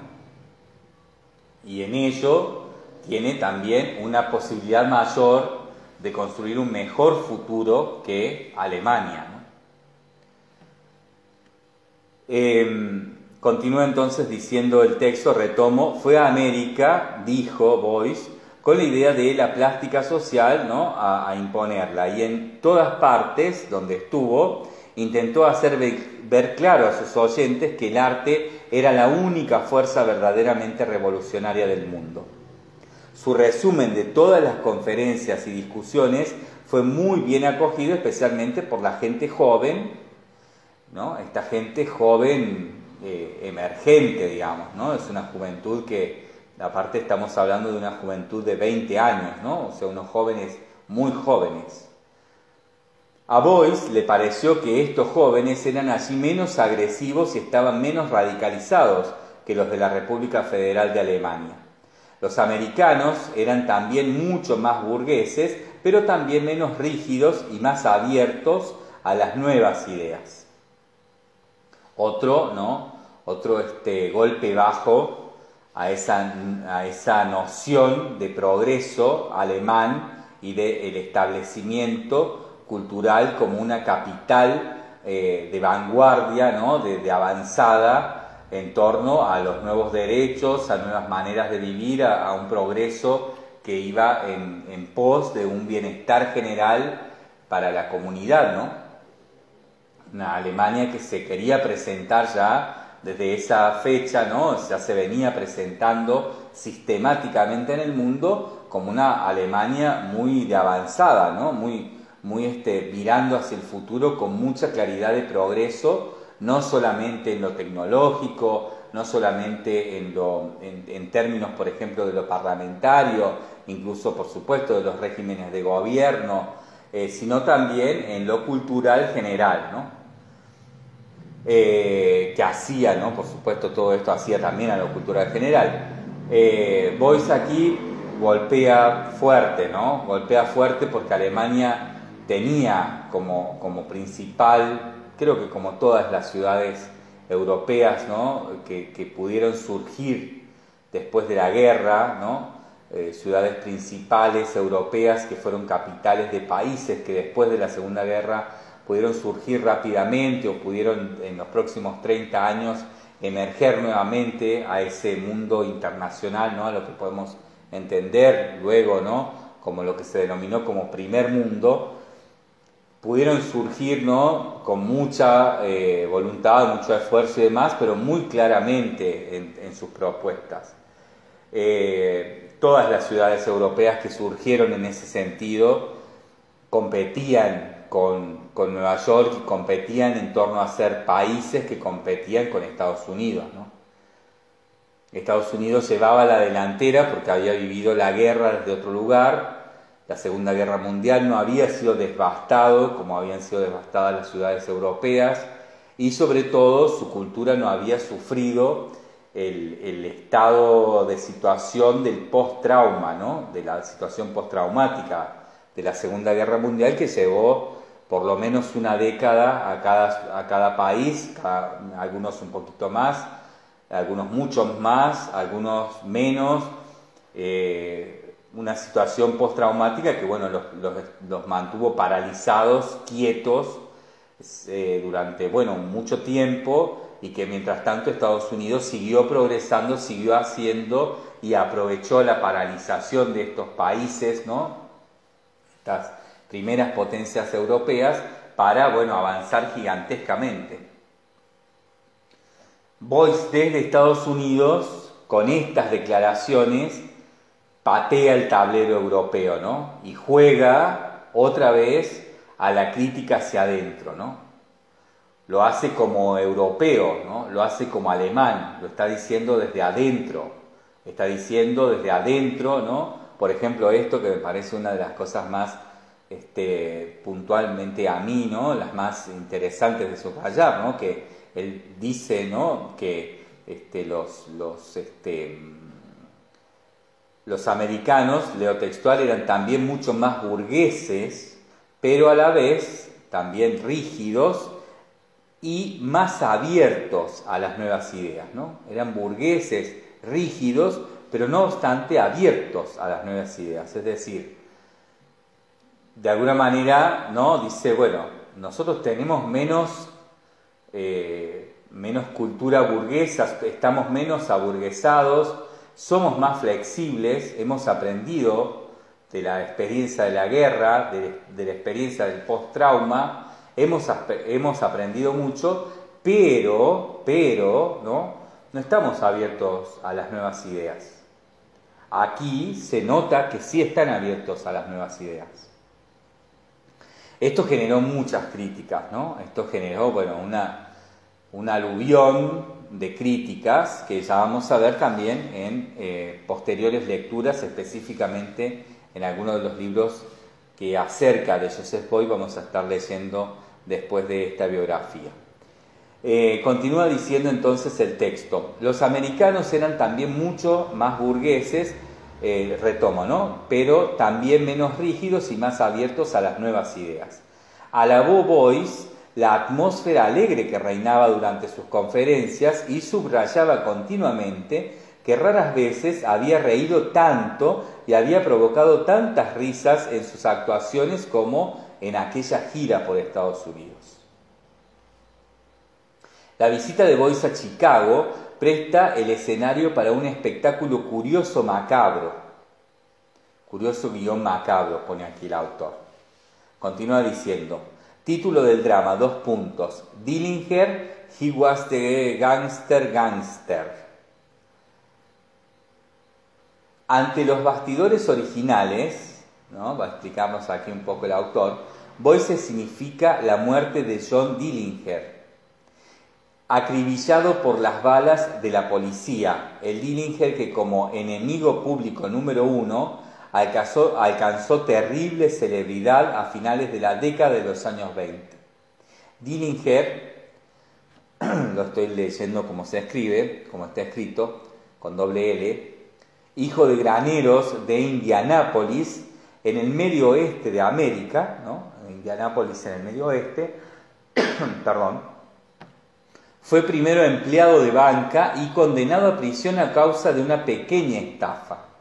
Después de su puesta en libertad, estuvo, eh, se, vio transformado. ¿no? En Chicago, donde, donde Dillinger fue a vivir, se convirtió en el torpedo de su jefe. Eh, en este caso se trata del gángster conocido como Al Capone. El torpedo ¿no? era alguien que cumplía la función, ¿no? tenía siempre la función de eh, el, revólver amartillado en el bolsillo, eh, que era el que disparaba con rapidez de rayo cuando la situación lo requería, ¿no? era el que estaba siempre listo a disparar, una especie de guardaespaldas eh, de primera línea de fuego, dispuesto siempre a disparar, ¿no? con, el, con el arma siempre cargada y con, con el martillo, ¿no? Eh, siempre listo para, para disparar. Amartillada, ¿no? Dice aquí. El revólver siempre amartillado en el bolsillo. Luego, continúa diciendo el texto, como especialista, ¿no? este, este señor Dillinger se desarrolló ¿no? como especialista en el asalto de bancos, eh, con lo cual consiguió formar en esta especialidad ¿no? de asaltante de banco, formó una banda propia que se componía de muy buenos y expertos tiradores como él. ¿no? Continúa diciendo el texto, explicando, ¿no? contándonos acerca de este señor Dillinger. Dice, la brutalidad de la banda, ¿no? esta banda de ladrones de bancos de, Dillinger, horrorizaba a los americanos. ¿no? Eran realmente eh, de, una extrema violencia, ¿no? Extremos violentos que asaltaban bancos de una manera muy brutal. Por esto, continúa diciendo el texto, la nación respiró aliviada cuando un día Dillinger fue preso y enviado a la cárcel. O sea, Estados Unidos se relajó, ¿no? Cuando Dillinger por fin fue apresado. Continúa diciendo el texto, la serie de atracos a los bancos no obstante, ¿no? Dillinger en la cárcel continuó. Ahora el FBI coordinaba la casa de Dillinger, que sin embargo, tras una operación facial, ¿no? una vez que se escapa de la cárcel, pudo pasar por algún tiempo inadvertido. O sea, siguen los atracos de banco, en algún momento se escapa y sigue ¿no? con su banda de, asaltantes de bancos, eh, bueno, en su misión, ¿no? en, su, en su labor de asaltar eh, bancos a lo, largo y ancho de Estados Unidos. Continúa diciendo el texto, el terrible final de su carrera de gángster fue coronado con un drama de celos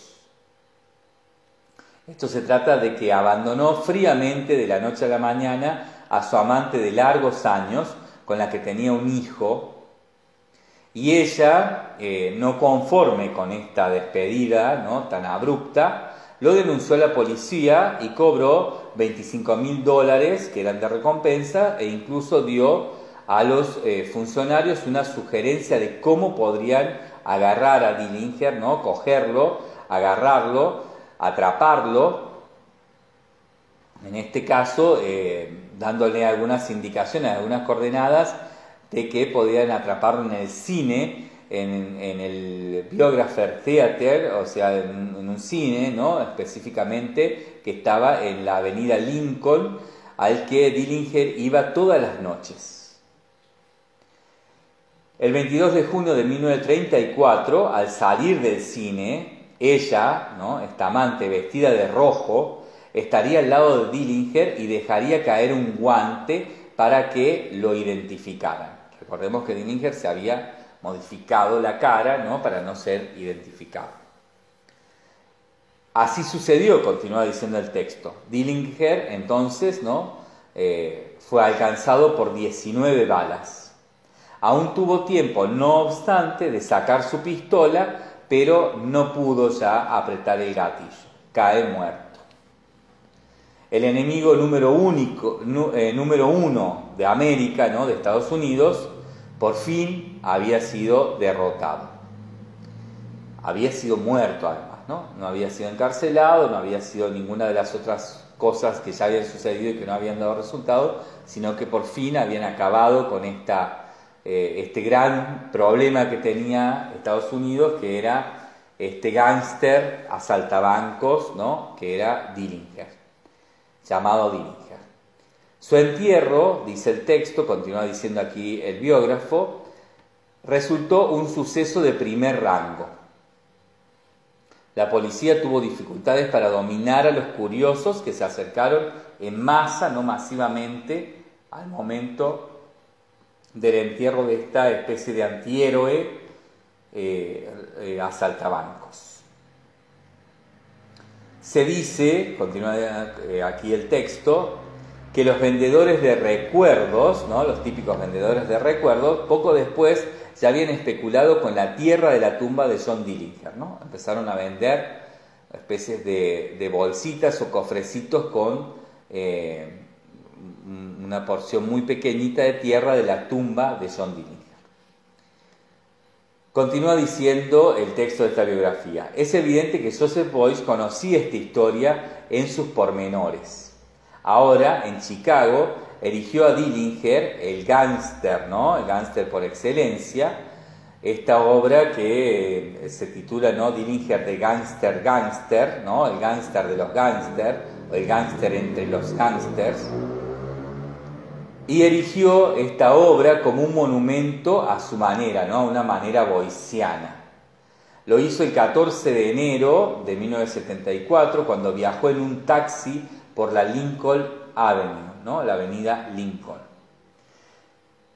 En este viaje, Boyce lleva puesto su sombrero de fieltro y un largo abrigo gris con el cuello guarnecido de piel hace parar el taxi delante del Biography eh, Theater, o sea, el teatro, el cine, ¿no? Donde encontraron a, este gángster y le dieron muerte. Boyce va entonces en este taxi hasta ese lugar, hace que pare el taxi y eh, se baja y cuando se baja, inmediatamente dice el texto, ¿no? Dice aquí el autor de la biografía, continúa diciendo, echa a correr como si quisiera esquivar balas y se precipita en un montón de nieve que hay delante del cine quedándose allí tendido, inmóvil como muerto. Al cabo de un rato se levanta, él sabe que ahora está la película en la caja o en cinta de video, producción Steak Stable, y que se va a llamar ¿no? este, esta acción Dillinger, he was the gangster gangster, ¿no? Eh, este gangster entre los gangsters. Protagonizada, ¿no? Esta película por Joseph Boyce. Una producción de Stable. Continúa diciendo el artista, eh, perdón, el, biógrafo aquí en este texto. Dice, artista y delincuente, así filosofa Boyce en, un, en una autointerpretación de esta acción, dice Boyce, ¿no? Son compañeros de camino, o sea, artista y delincuente son compañeros de camino. Ambos disponen de una loca creatividad, ambos carecen de moral, impulsados solamente por la fuerza de la libertad. Esto es lo que manifiesta Boyce en una América, en una Norteamérica que le permite también enajenarse de alguna forma muy concreta de ciertos parámetros eh, que en su Alemania y en Europa siempre están rigiéndolo de una manera muy moral. ¿no? Aquí Boyce se permite esta eh, inmoralidad o por lo menos amoralidad. ¿no? Continúa diciendo el texto. También es esto una provocación, ¿no? Esto que dice Boyce también es una provocación. Vuelvo a leer lo que dice Boyce.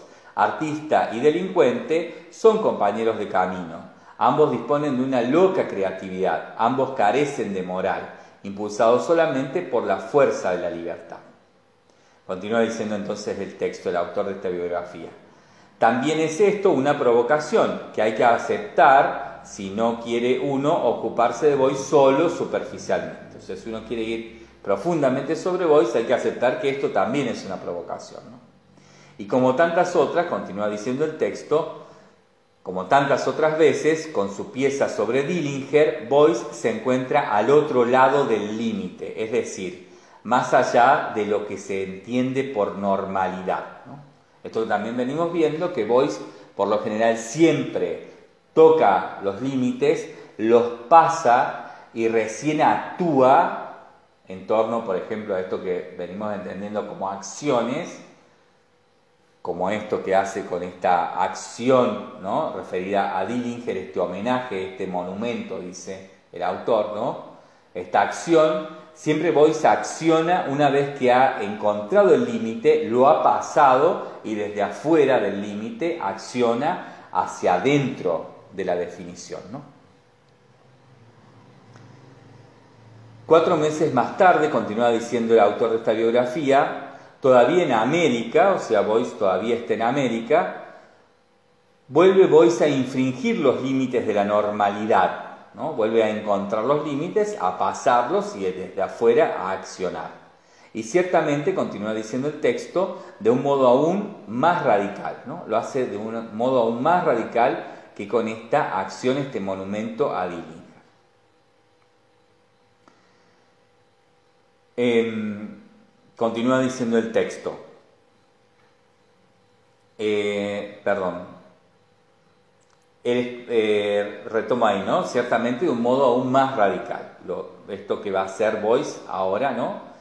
Y dice el autor de esta biografía, el espectáculo que del 21 al 25 de mayo de 1974 da en la Galería René Bloch de Nueva York se llama I Like America and America Likes Y junto a Boyce hay también otro protagonista, Little John, un coyote vivo. Ya desde los días de su infancia tuvo Boyce una estrecha relación con el mundo de los animales, dice aquí el autor, ¿no? En relación específicamente también a un capítulo concretamente dedicado de esta biografía a la relación de Boyce con los animales, ¿no? un capítulo titulado Los animales. Em, continúa diciendo entonces el autor de esta biografía. Vivió Boyce con animales en la naturaleza donde estudió su comportamiento y donde fundó el Partido de los Animales, explicando, por ejemplo, sus cuadros a una liebre muerta.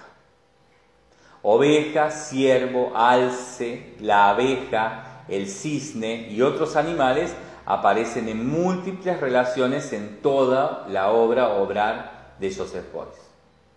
Ahora pues le toca el coyote, el lobo de la pradera, un animal de rapiña que caza de noche, que vive en los bosques y praderas de la América septentrional y central, ¿no? de la Norteamérica septentrional y central, y que se alimenta preferentemente de pequeños animales y de carroña, siendo no peligroso no obstante para el hombre.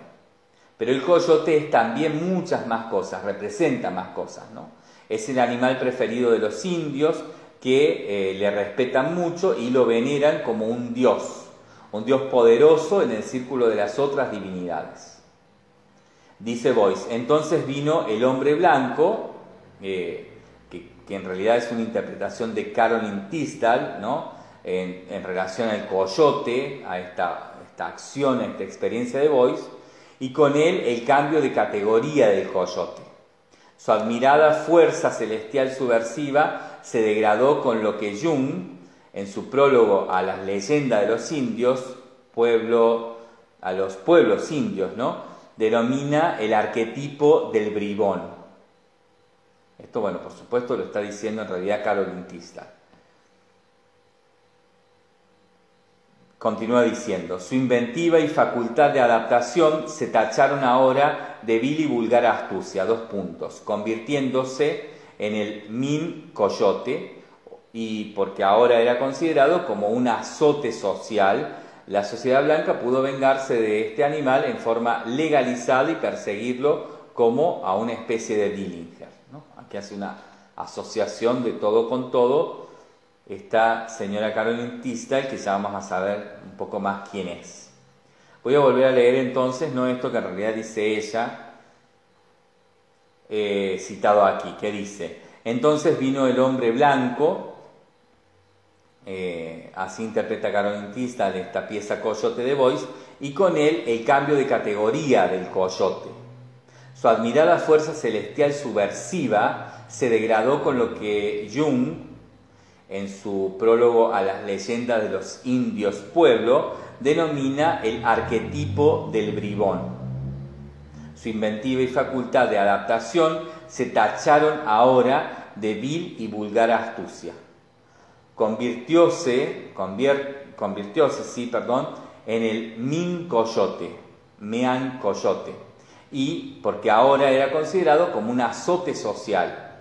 En este caso entonces la sociedad blanca pudo vengarse del animal en forma legalizada y perseguirlo como persiguieron a Dillinger.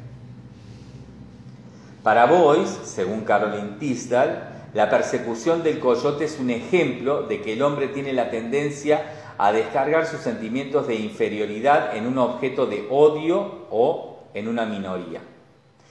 Este odio y este sentimiento de inferioridad le inducirían una y otra vez a exterminar el objeto de su odio, el chivo expiatorio y el eternamente pisoteado en toda sociedad como bien conoce o, prefiere olvidar la Europa de los prohombres y de los campos de concentración. América es rica en minorías, pero los indios, como antiguos habitantes del país, constituyen un caso especial en la historia de las persecuciones. Dice Boyce, eh, citado en este caso por Tizar, la manera de nuestro encuentro fue importante. Quise concentrarme totalmente en el coyote. Quería aislarme, mantenerme aparte, sin ver ninguna otra cosa de América que no fuera el coyote. Esto fue exactamente lo que ocurrió. En el New Yorker eh, Kennedy Airport, o sea, en el aeropuerto eh, New Yorker Kennedy, Boyce envuelto eh, en fieltro, es acostado sobre una camilla cuando llega, ¿no? aparentemente, vamos a decir así por ahora, y así envuelto en fieltro sobre una camilla lo suben a una ambulancia y lo llevan hasta la galería, hasta una galería de arte. ¿no? Allí, en esta galería, hay un espacio separado por una reja, un espacio de cubículo enrejado, en el que lo espera su coyote. Boyce dispone en el espacio, en este espacio, ¿no? donde está este espacio enrejado, una especie de celda, ¿no? Eh, donde está un coyote, donde está este su coyote, Boyce dispone eh, de franjas de fieltro que va apilando día a día, junto con la edición más reciente del Wall Street Journal, en dos paquetes, por ejemplo, de 27 ejemplares cada uno. Boyce lleva zapatos de color marrón, tiene junto así una linterna de bolsillo, recordemos, ¿no? De todos estos elementos del catálogo de objetos ¿no? con los que Voice acciona o eh, arma las instalaciones y se apoya en un bastón de paseo. ¿no? Linterna, eh, bastón de paseo, todo, ¿no? parte, fieltro, eh, incluso ¿no? ejemplares de, diarios, en este caso el Wall Street Journal, pero podría ser cualquier otro que también usaba Voice, ¿no? son todos los catálogos, los elementos del catálogo ¿no? de objetos, de herramientas con los que Boyce trabaja sus acciones y sus instalaciones.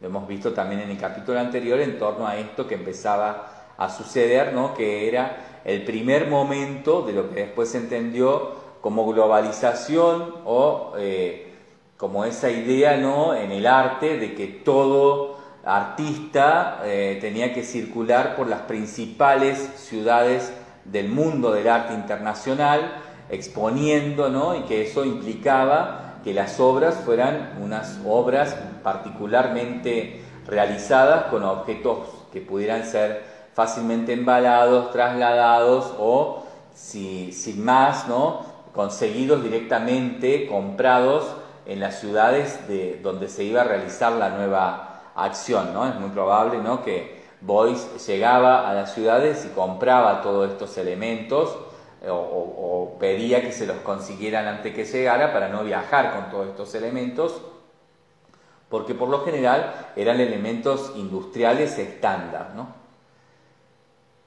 Esto también lo hemos explicado en profundidad en los capítulos anteriores. Eh, continúa entonces diciendo, ¿no? Eh, el, texto, aquí el texto de esta biografía. Lleva entonces zapatos de color marrón, tiene junto así una linterna de bolsillo y se apoya en un bastón de paseo. De este modo, Boyce se esfuerza en llegar lentamente a un contacto estrecho con el coyote. Boyce se envuelve en fieltro y solo sobresale de él el bastón y así se acuesta también en el suelo, ¿no? Siempre envuelto en el fieltro como una especie de protección, ¿no? Y eh, de, esta, en la imagen, ¿no? Uno puede ver una especie de, envoltura muy amorfa, ¿no? Una especie de, envoltura casi piramidal, donde, donde lo único que sale, ¿no? Lo único que se ve de Boyce es el bastón eh, que está sirviendo para eh, tomar contacto con el coyote, ¿no? En todo sentido. En primer lugar, ¿no? Para tratar de, buscar eh, su simpatía, ¿no? Para buscar su atención a través de distintos sonidos, distintos, distintas acciones que Boyce hace con ese bastón, ¿no? Envuelto así en, casi eh, diría yo que totalmente en fieltro, ¿no? Se lo ve al menos envuelto totalmente en fieltro, eh, de una manera muy amorfa, no es, un traje de fieltro, ¿no? Es, es realmente un, gran trozo de fieltro que, en el cual él está envuelto y eh, que, por donde puede saca el bastón y con esto hace ruidos, hace, hace también el gestos de distintas categorías culturales, digamos, sonidos y demás, y va llamando la atención del coyote, como también a su vez lo usa eh, para defenderse en caso de que el coyote quisiera atacarle. ¿no? retomo entonces, Boyce se envuelve en fieltro, solo sobresale de, esta envoltura eh, su bastón y así se acuesta también en el suelo, envuelto en este fieltro siempre, ¿no? Dice el autor, una plástica. Amontona otros trozos de fieltro y desde el montón brilla la linterna de bolsillo. Habla con el coyote, hace que éste tire de las franjas de fieltro, que las rasgue, ¿no? va, va buscando provocar al coyote y entonces en algún momento se empieza a invertir la situación. El coyote se acuesta sobre el fieltro y Boyce lo hace sobre el lecho de paja del coyote. De vez en cuando Boyce hace música con un triángulo que lleva colgado alrededor de su cuello. Entonces rasgan el silencio unos ruidos de turbina procedentes de la cinta magnetofónica que estaba a un costado. Al cabo de tres días y tres noches, ambos se han acostumbrado el uno a otro. O sea, Boyce y el coyote están en una absoluta armonía. Ahí es cuando Boyce decide terminar con esta acción, ¿no? Y se despide de Little John, como se llamaba este coyote, estrechándolo suavemente junto a su cuerpo, o sea, abrazándolo suavemente junto a su, a, su cuerpo, y luego esparce la paja eh, en el espacio que ha compartido con el animal, ¿no? o sea, eh, eh, en, una, especie de, fin de la acción, hoy se abraza el coyote y esparce toda la paja donde primero se echaba el coyote y luego él se acostaba, desparce ¿no? en, todo el espacio de esa, de esa celda, ese cubículo, de esa sala donde sucedió todo esto con este animal.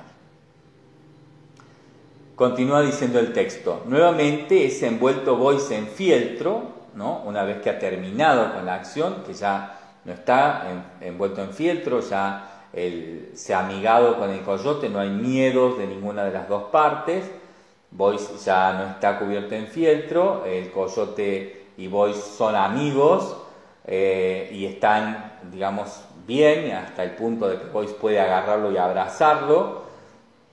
Eh, entonces Boyce decide terminar la acción, se vuelve a envolver en fieltro, lo vuelven a colocar en una camilla, lo suben nuevamente en la misma ambulancia y lo transportan otra vez al aeropuerto Kennedy.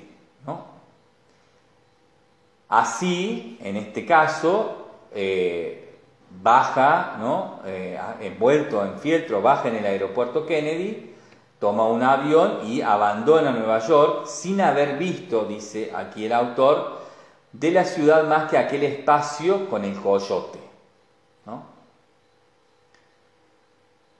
Continúa diciendo el autor de esta biografía. Boyce no negó que en esta acción hubiese asumido la posición del chamán, no obstante, no ve al chamán como alguien que utiliza los elementos del pasado para predecir algo sobre el futuro.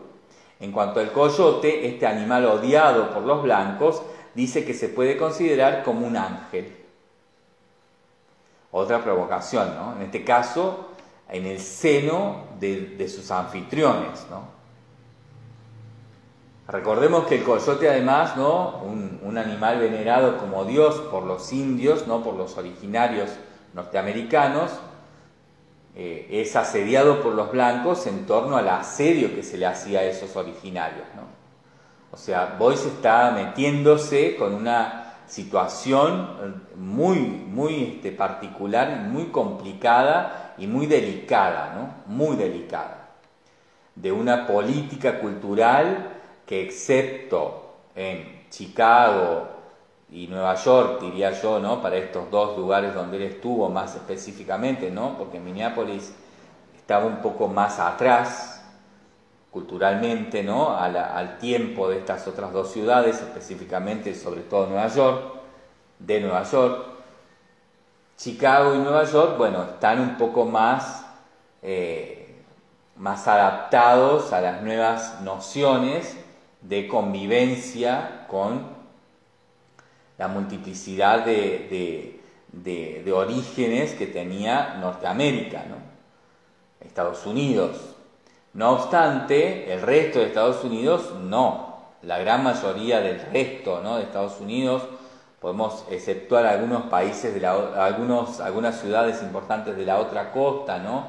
que estaban ya avanzando también, ¿no? como puede ser Los Ángeles, pero no mucho, no mucho todavía tampoco, ¿no? En ese momento. Eh, todavía también era muy conservador y todavía también tenían una noción de superación de los originarios americanos, ¿no? En, una especie también de, de, constante persecución y exterminio, ¿no? Boyce cuando habla del coyote está hablando singularmente de una manera metafórica y de una manera muy, muy boisiana, ¿no? Eh, de los originarios americanos y está poniéndose a su favor en torno a una lucha de igualdad y de, eh, de derechos. Es un tema muy delicado, es un tema muy delicado con el que Boyce se metió ¿no? en Nueva York Recordemos que había estado cuatro meses en Estados Unidos, que, había, que llega a Nueva York, que no pisa Nueva York, que sale de Nueva York y vuela, ¿no? Sin pisar territorio neoyorquino, ¿no? Pero ha estado, no obstante, en esta gira un tiempo antes, digamos, ¿no? Él ya ha pisado territorio neoyorquino, eh, territorio norteamericano, perdón. Lo que Boyce está haciendo es hablar específicamente de esta problemática en torno a la, posesión de la tierra. Esto que era la gran problemática, ¿no? Eh, el, el norteamericano blanco queriendo quedarse con la tierra de los originarios norteamericanos, de los que llaman aquí los indios americanos, así los denomina el autor de esta biografía, estos originarios americanos, que no solamente son norteamericanos, sino también son, por ejemplo, canadienses. Los norteamericanos quieren quedarse con sus tierras y para quedarse con sus tierras lo, que, lo que, hacen, digamos, la alternativa que encuentran es exterminarlos. Cuando Boyce no pisa tierra en esta acción que empiece en un aeropuerto, no en el aeropuerto Kennedy, y termine en el aeropuerto Kennedy sin haber pisado más que la galería, espacio del animal sagrado de los originarios americanos, por lo menos de algunas, eh, entre comillas, tribus de originarios americanos, ¿no? de algunas comunidades, lo que Boyce hace es estar hablando de esta problemática. Esta acción es muy importante en ese sentido como experiencia política en torno a lo siempre político de Boyce, ¿no? No es arte político, aunque también se puede meter dentro de esa categoría, por supuesto, pero no estamos hablando de eso como tampoco estamos hablando de accionismo ni de performance y mucho menos de instalación o environment o, similar, digamos. ¿no? Es aquí en este tipo de experiencias donde vemos por qué el autor y Boyce agregan a esta biografía este capítulo específico dedicado a Italia y América, ¿no? Porque esta acción no ha sido nombrada todavía, esta, esto que hace Boyce, ¿no? este obrar de Boyce, para no, para no usar la palabra acción, disculpen, no está bien usado, es en realidad este obrar de Boyce, ¿no? denominado coyote, eh, I like American, American like me, o sea, yo, gusto de América, América gusta de mí. Esta acción, ¿no? Perdón, otra vez, disculpen, esta esta experiencia de Boyce, ¿no? este obrar, está hablando de todas estas otras cosas y muchas veces ha sido solo determinado como, eh, como eso, como arte de acción, como una performance, etc. ¿no? Pero el autor y Boyce no han querido acá meterlo dentro de, por ejemplo, el capítulo de las acciones, ¿no? que hemos visto en ese capítulo tranquilamente podría haber entrado esto participando de, varias cosas que definitivamente no eran acciones, pero estaban ahí como una manera de categorizarlo fácilmente en lo que el arte de ese momento entendía para ese tipo de obrares de artista. No obstante, esto lo quieren dejar afuera, ¿no? Porque esto es algo muy complejo que Boyce hace. Es tal vez su incidencia en el mundo internacional del arte desde un lugar internacional de activismo por los derechos de la humanidad más allá de los límites geográficos, políticos e incluso de Estado eh, que puedan darse en la geografía o en los mapas. ¿no? Boyce está hablando de algo esencial, de los derechos esenciales del ser humano, vivan en Estados Unidos, en Alemania o donde sea, ¿no? Y que esos derechos esenciales, por ejemplo, son los de su tierra, son los de ser respetados en sus orígenes, ser respetados como anteriores, como, como de donde surge ¿no? Eh, lo cultural complejo, que por ejemplo era, en ese caso, eh, lo que a Boyce le gustaba de, de, de ese Estados Unidos, ¿no? de esa América, Norteamérica. Entonces esto queda fuera de las acciones por esta razón. ¿no? Y vuelvo a lo mismo, esto después se, arma una especie de genérico sobre Coyote, I Like American, American Like Me, ¿no? esta obra, este obrar, esta producción, esta experiencia de Boyce, ¿no? se determina siempre ya por fuera de esta complejidad es tal vez una de las, de las experiencias de Boyce más radicales y que tienen una potencia ¿no? en torno a, lo que podrían generar, o sea, tienen un potencial eh, enorme, ¿no? enorme, incluso a nivel diplomático, ¿no? O sea, esto podría haber traído realmente discusiones diplomáticas como también problemas diplomáticos. Aquí Boyce se mete con algo que es fuerte, ¿no? muy fuerte dentro de los límites que para un artista, por más internacional y reconocido que fuera, estaban dados como posibles. O sea, otra vez Boyce ve el límite, lo traspasa y actúa desde afuera, incidiendo adentro del asunto. Continúa diciendo entonces eh, eh, aquí el, texto. Retomo entonces esto, ¿no? Boyce, eh, retomo lo que estaba diciendo el autor de esta biografía. Boyce no negó que en esta acción hubiese asumido la posición del chamán.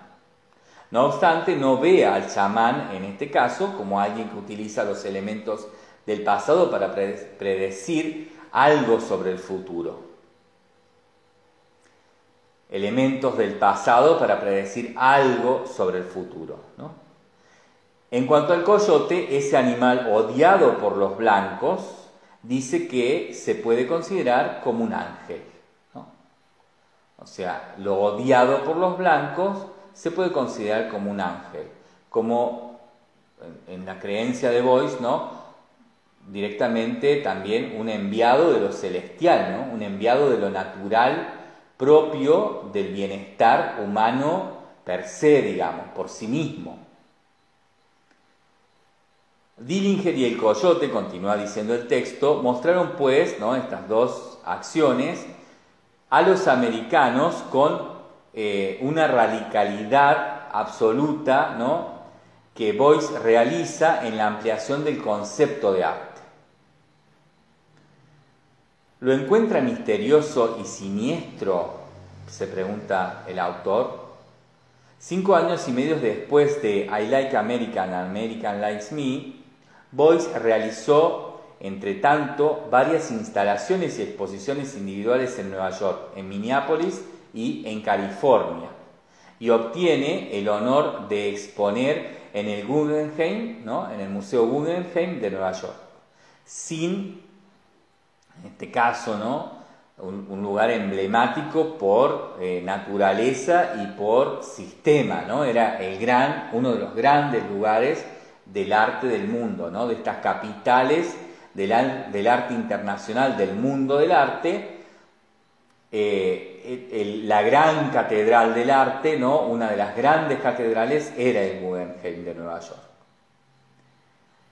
Continúa diciendo el texto, sin duda esto, ¿no? Eh, este honor de exponer en el Guggenheim fue todo un acontecimiento para Beuys.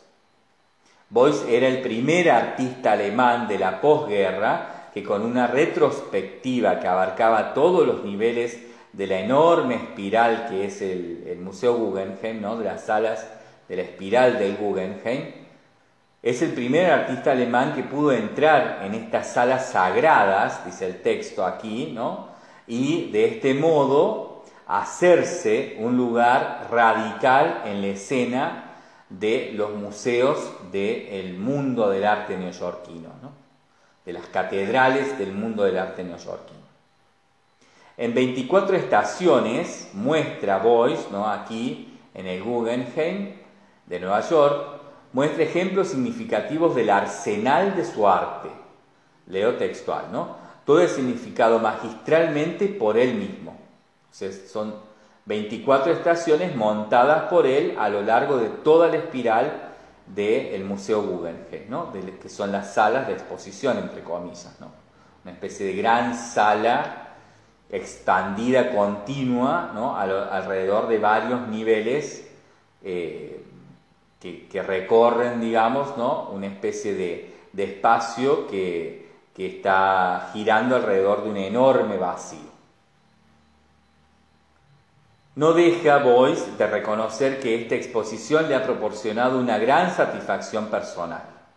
Se le reconoce eh, a partir de esto de una manera mucho más fuerte todavía internacionalmente y ahora ya como un artista que ha alcanzado su objetivo en torno al eh, éxito y también diría yo que la fama internacional como artista del mundo del arte, ¿no? como protagonista del mundo del arte, ¿no? mundo posmoderno, iniciando ya ¿no? Eh, lo que iba a empezar a ser la transición al eh, mundo del arte contemporáneo. Continúa diciendo el texto, eh, perdón,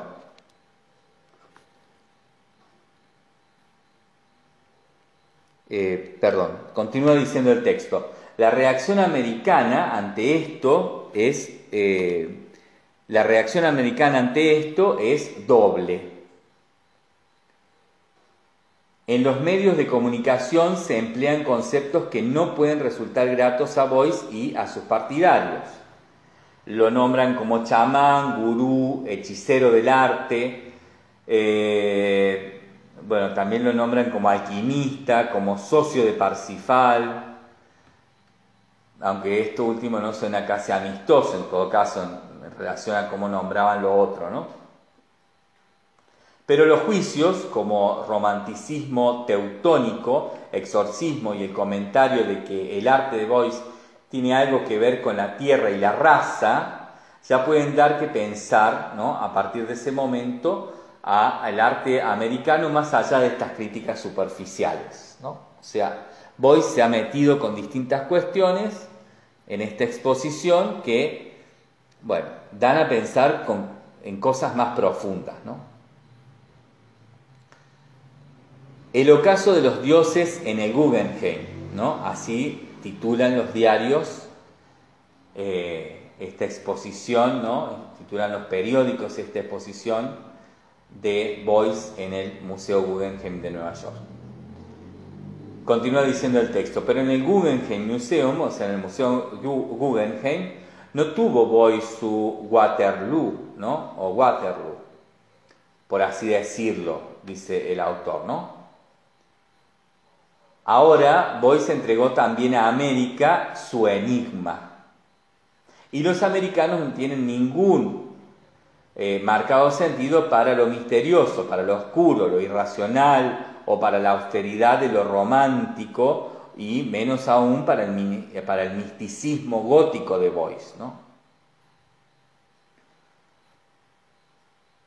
Hablan, ¿no? en este caso, eh, de, referir a Boyce, eh, como también pasaba en Alemania, ¿no? cuando se reunían, hablan de referir a Boyce con Warhol, ¿no? o sea, tanto los periódicos como la crítica en general toman muy superficialmente esto en torno todavía a una superficialidad que se entendía en el obrar de Warhol en general, ¿no? Todavía Warhol era entendido muy superficial, ¿no? Si bien ya había Warhol demostrado ampliamente que de superficial su obrar no tenía absolutamente nada, ¿no? Pero este periodismo cultural, esta crítica simplona, digamos, ¿no? esta crítica más eh, determinada a las masas, eh, que aparecía en las revistas populares, ¿no? con columnas acerca de arte y demás, eh, que era una crítica especializada, pero una crítica muy light, ¿no? Bueno, compara a Boyce con Warhol y lo hace con un Warhol que considera netamente superficial, eh, so pretty, ¿no? Dicen, ¿no? Muy, muy, de todo muy, muy, muy bonito, ¿no? De, all is pretty, all is pretty en, en, en un sentido de, que todo es muy bonito, todo es muy, es bello y es en ese sentido eh, superficialmente estético, ¿no? Esa filosofía, dice el autor, ¿no? de ilustrar el mundo de Boyce a través de eh, ciertas cuestiones del consumo y cliché americanos que, bueno, estaban eh, muy claramente representados en lo popular por el Warhol más superficialmente entendido, ¿no? más relativo a ciertos clichés entendidos.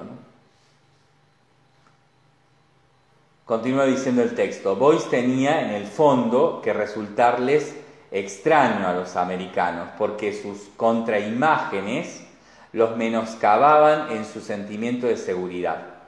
Él mismo era, para ellos, una contraimagen. Solo por esto fue ya importante y necesario esta exposición en el Guggenheim. Aquí el, autor, el traductor en realidad nombra por, primera vez así, ¿no? Este show en el Guggenheim, ¿no? Como podríamos decir, este, nombrar exposición de alguna manera en inglés.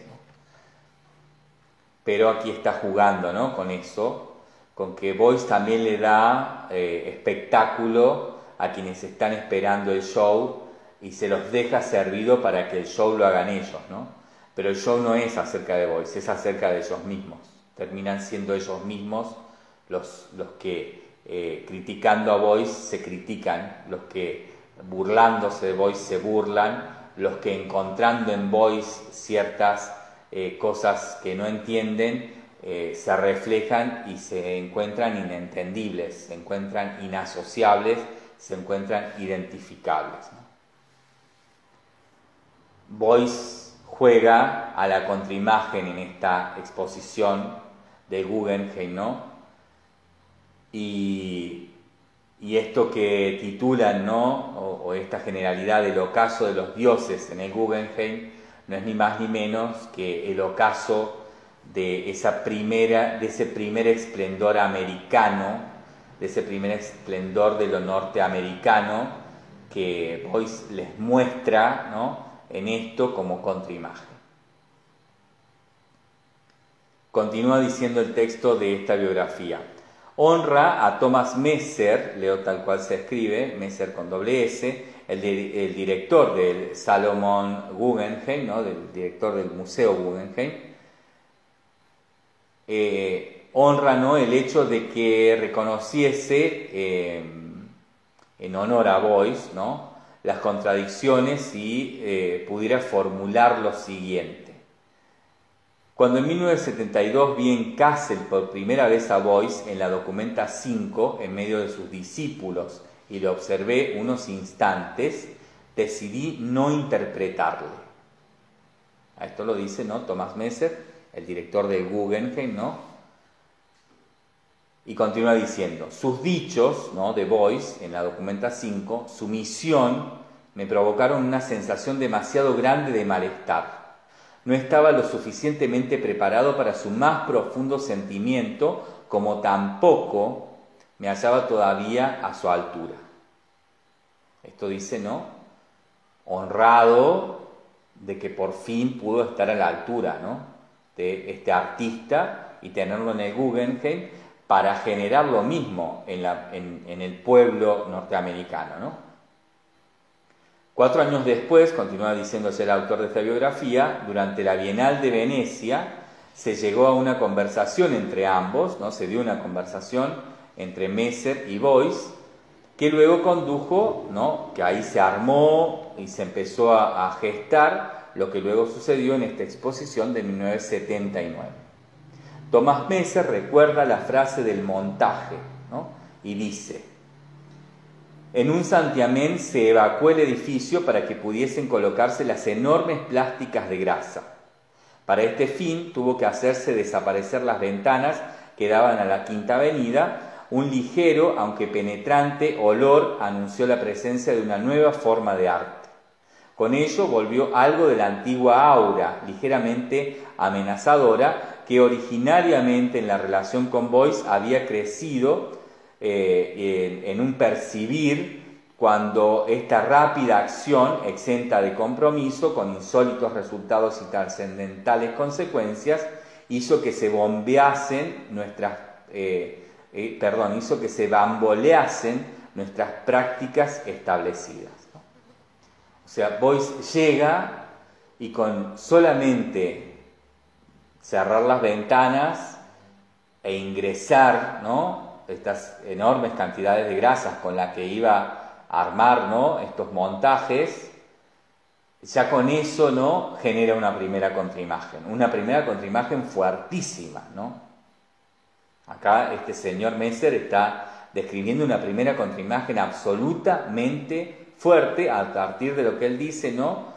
Un ligero, aunque penetrante, olor que anunció la presencia de una nueva forma de arte, ¿no? que no era ni más ni menos en ni más ni menos en Boyce que una nueva forma de vida. Y Messer, continúa diciendo el texto, tampoco vacila en emitir una crítica prudente, aunque igualmente clara, acerca del comportamiento de Boyce. Dice Messer, la contradicción radical entre un espíritu libre, mesiánico, y una institución que se esforzaba en admitir en su bien trabado marco a semejante persona, se agudizó, causándome a veces un gran desasosiego en el momento en que Boyce, que con su séquito había venido a Nueva York a expensas nuestras, comenzó a darse la gran vida con Cadillac y chofer, caviar y todo lo demás, para gran sorpresa incluso de gran parte de sus amigos, que no aceptaban ¿no? ni podían explicarse este raro comportamiento del artista. Por lo que a mí respecta, creía entenderlo todo muy bien y temía que Joseph Beuys hubiese llegado a la idea de que la destrucción del Guggenheim Museum, del Museo Guggenheim, pudiera representar para su mentalidad una impresionante obra de arte. Afortunadamente, de súbito, puso punto final a todo ello como si hubiera comprendido que ya estaba bien de tanto numerito. O sea, Boyce llega invitado por el Guggenheim con un séquito de personas, de ayudantes, de acompañantes, de amigos, llega y empieza a mostrarles la contraimagen del consumismo exacerbado y seguramente de, de, lo ostentoso que era el mundo del arte de élite que rodeaba ¿no? a la institución, como por ejemplo el Guggenheim, ¿no? a la institución arte de primera línea como era el Guggenheim. Boyce no, no regateó ni, ni, ni retaseó en, en, expresión, en el gesto, ¿no? O sea, vino y apenas llegó, empezó a provocar. Esta provocación le llevó este dolor de cabeza a este señor, ¿no? Que dijo, a este señor Messer, que dijo, bueno, esperemos que esto no llegue hasta el día de, de la inauguración porque este, este, este señor, este artista nos va a desbaratar todo. O sea, este, este, este artista, este señor está dispuesto a cualquier cosa y no va a, aceptar ningún freno, digamos. ¿no? Recordemos, bueno, aquí no está explicado, no, no, no, no ya estamos a punto de empezar el último párrafo de este capítulo, y no queda explicado claramente qué pasó con todo este proceso. ¿no? Ya lo vamos a ver más adelante en, otros, eh, en el próximo libro incluso. Eh, ya vamos a ver ¿no? un poco más en detalle qué pasó con esto. No fue tan sencillo que Boyce pusiera en Nueva York en el Guggenheim. ¿no? Fueron muchas idas y venidas, fueron muchos, muchas eh, contraindicaciones y negociaciones y vueltas y contravueltas y hubo mucho en el medio que también lleva a Boyce a este tipo de actitud cuando llega a Nueva York a hacer el montaje de esta, de esta muestra de retrospectiva de su obra en el Museo Guggenheim. ¿no? Es mucho más complejo. Acá queda muy simplificado en una noción ¿no? de eh, un voice muy claro en sus posiciones, muy claro en su manera de hacer, que no escatima en ningún tipo de detalle a la hora de expresar su manifiesto. ¿no? Es un voice que está decidido a, eh, a discursar a pesar de cualquier cosa y que llega a, Norteamérica en esta situación ¿no? de una gran exposición retrospectiva en el Guggenheim, la una de las grandes catedrales del arte del mundo internacional, del arte del momento, que llega eh, con todos los honores y además mete miedo, ¿no? o sea, genera miedo. Es, eh, queda claro, y creo que es lo que quiere dejar en claro esta biografía, que Boyce cuando, que cuando se presenta en esta situación internacional tiene suficiente poder como para estar por encima del arte establecido en esa catedral que era el Guggenheim. ¿no? Está por encima de esa élite superpoderosa que manejaba los destinos del arte en ese momento. ¿no? En ese momento, y tal vez incluso hasta hace muy poco tiempo, ¿no? hasta hace algunos años a este presente de hoy. ¿no? Boyce se, define acá, ¿no? queda claro que cuando llega al Guggenheim, este señor Messer está a su disposición y no solo eso, sino que está atento a en qué momento van a tener que salir todos corriendo porque Boyce va a destruir el museo sin posibilidad de detenerlo, ¿no? O sea, Boyce es mucho más poderoso que el sistema del arte que encabeza y representa como totalitarismo, si se quiere, el Guggenheim de Nueva York, ¿no? En ese momento. Por lo tanto, en esta biografía, esta descripción de lo que pasó en el Guggenheim, como también la descripción de lo que pasa con Coyote, es muy tendenciosa en torno a esto, ¿no? a buscar esta claridad o a que se asiente esto respecto a Boyce, ¿no? a que Boyce se manejaba en América con una absoluta eh, independencia y con un poder que, podía con todo, digamos. ¿no? Todos estaban a sus pies y el arte norteamericano en ese sentido estaba a los pies del arte alemán. Volvemos a lo mismo ¿no? que hemos dicho varias veces. Para determinar esta biografía y para determinar estas líneas de pensamiento, de descripción, de narración y para establecer estos conceptos y, definir así algunas cosas, no solamente está escribiendo el autor, ¿no? No es solamente esto corre por cuenta de Heiner Stackelhaus, esto corre por cuenta de Boyce, que también está queriendo que así se determine lo que en verdad sucedió respecto a la verdad, ¿no? que aconteció y que como verdadero quiere que trascienda de este modo, ¿no? Pero también hay muchas otras instituciones, ¿no? Que pueden ser privadas o públicas, puede ser eh, personas o el mismo Estado alemán, que están interesadas, ¿no? Están interesados, interesadas en que, en que así se defina, luego de muerto, ¿no? Boys, en relación a cómo fue en ese momento, ¿no? Diría yo que, que, de, un, de, un, momento muy, muy particular y concreto en la, en la Guerra Fría, muy particular y concreto en, el establecimiento de las nuevas potencias mundiales emergentes eh, y que, bueno, determinaron muy prontamente lo que se nombró como primer mundo. Bueno, de aquí Alemania gana a Estados Unidos, ¿no? O aquí Estados Unidos está a los pies de Alemania y Estados Unidos está eh, a la orden de Alemania, ¿no? Está eh, recibiendo órdenes y acatándolas con miedo, además, con miedo de lo que el representante del arte alemán y de la cultura alemana, de la nueva Alemania, Joseph Beuys, es capaz de hacer, ¿no?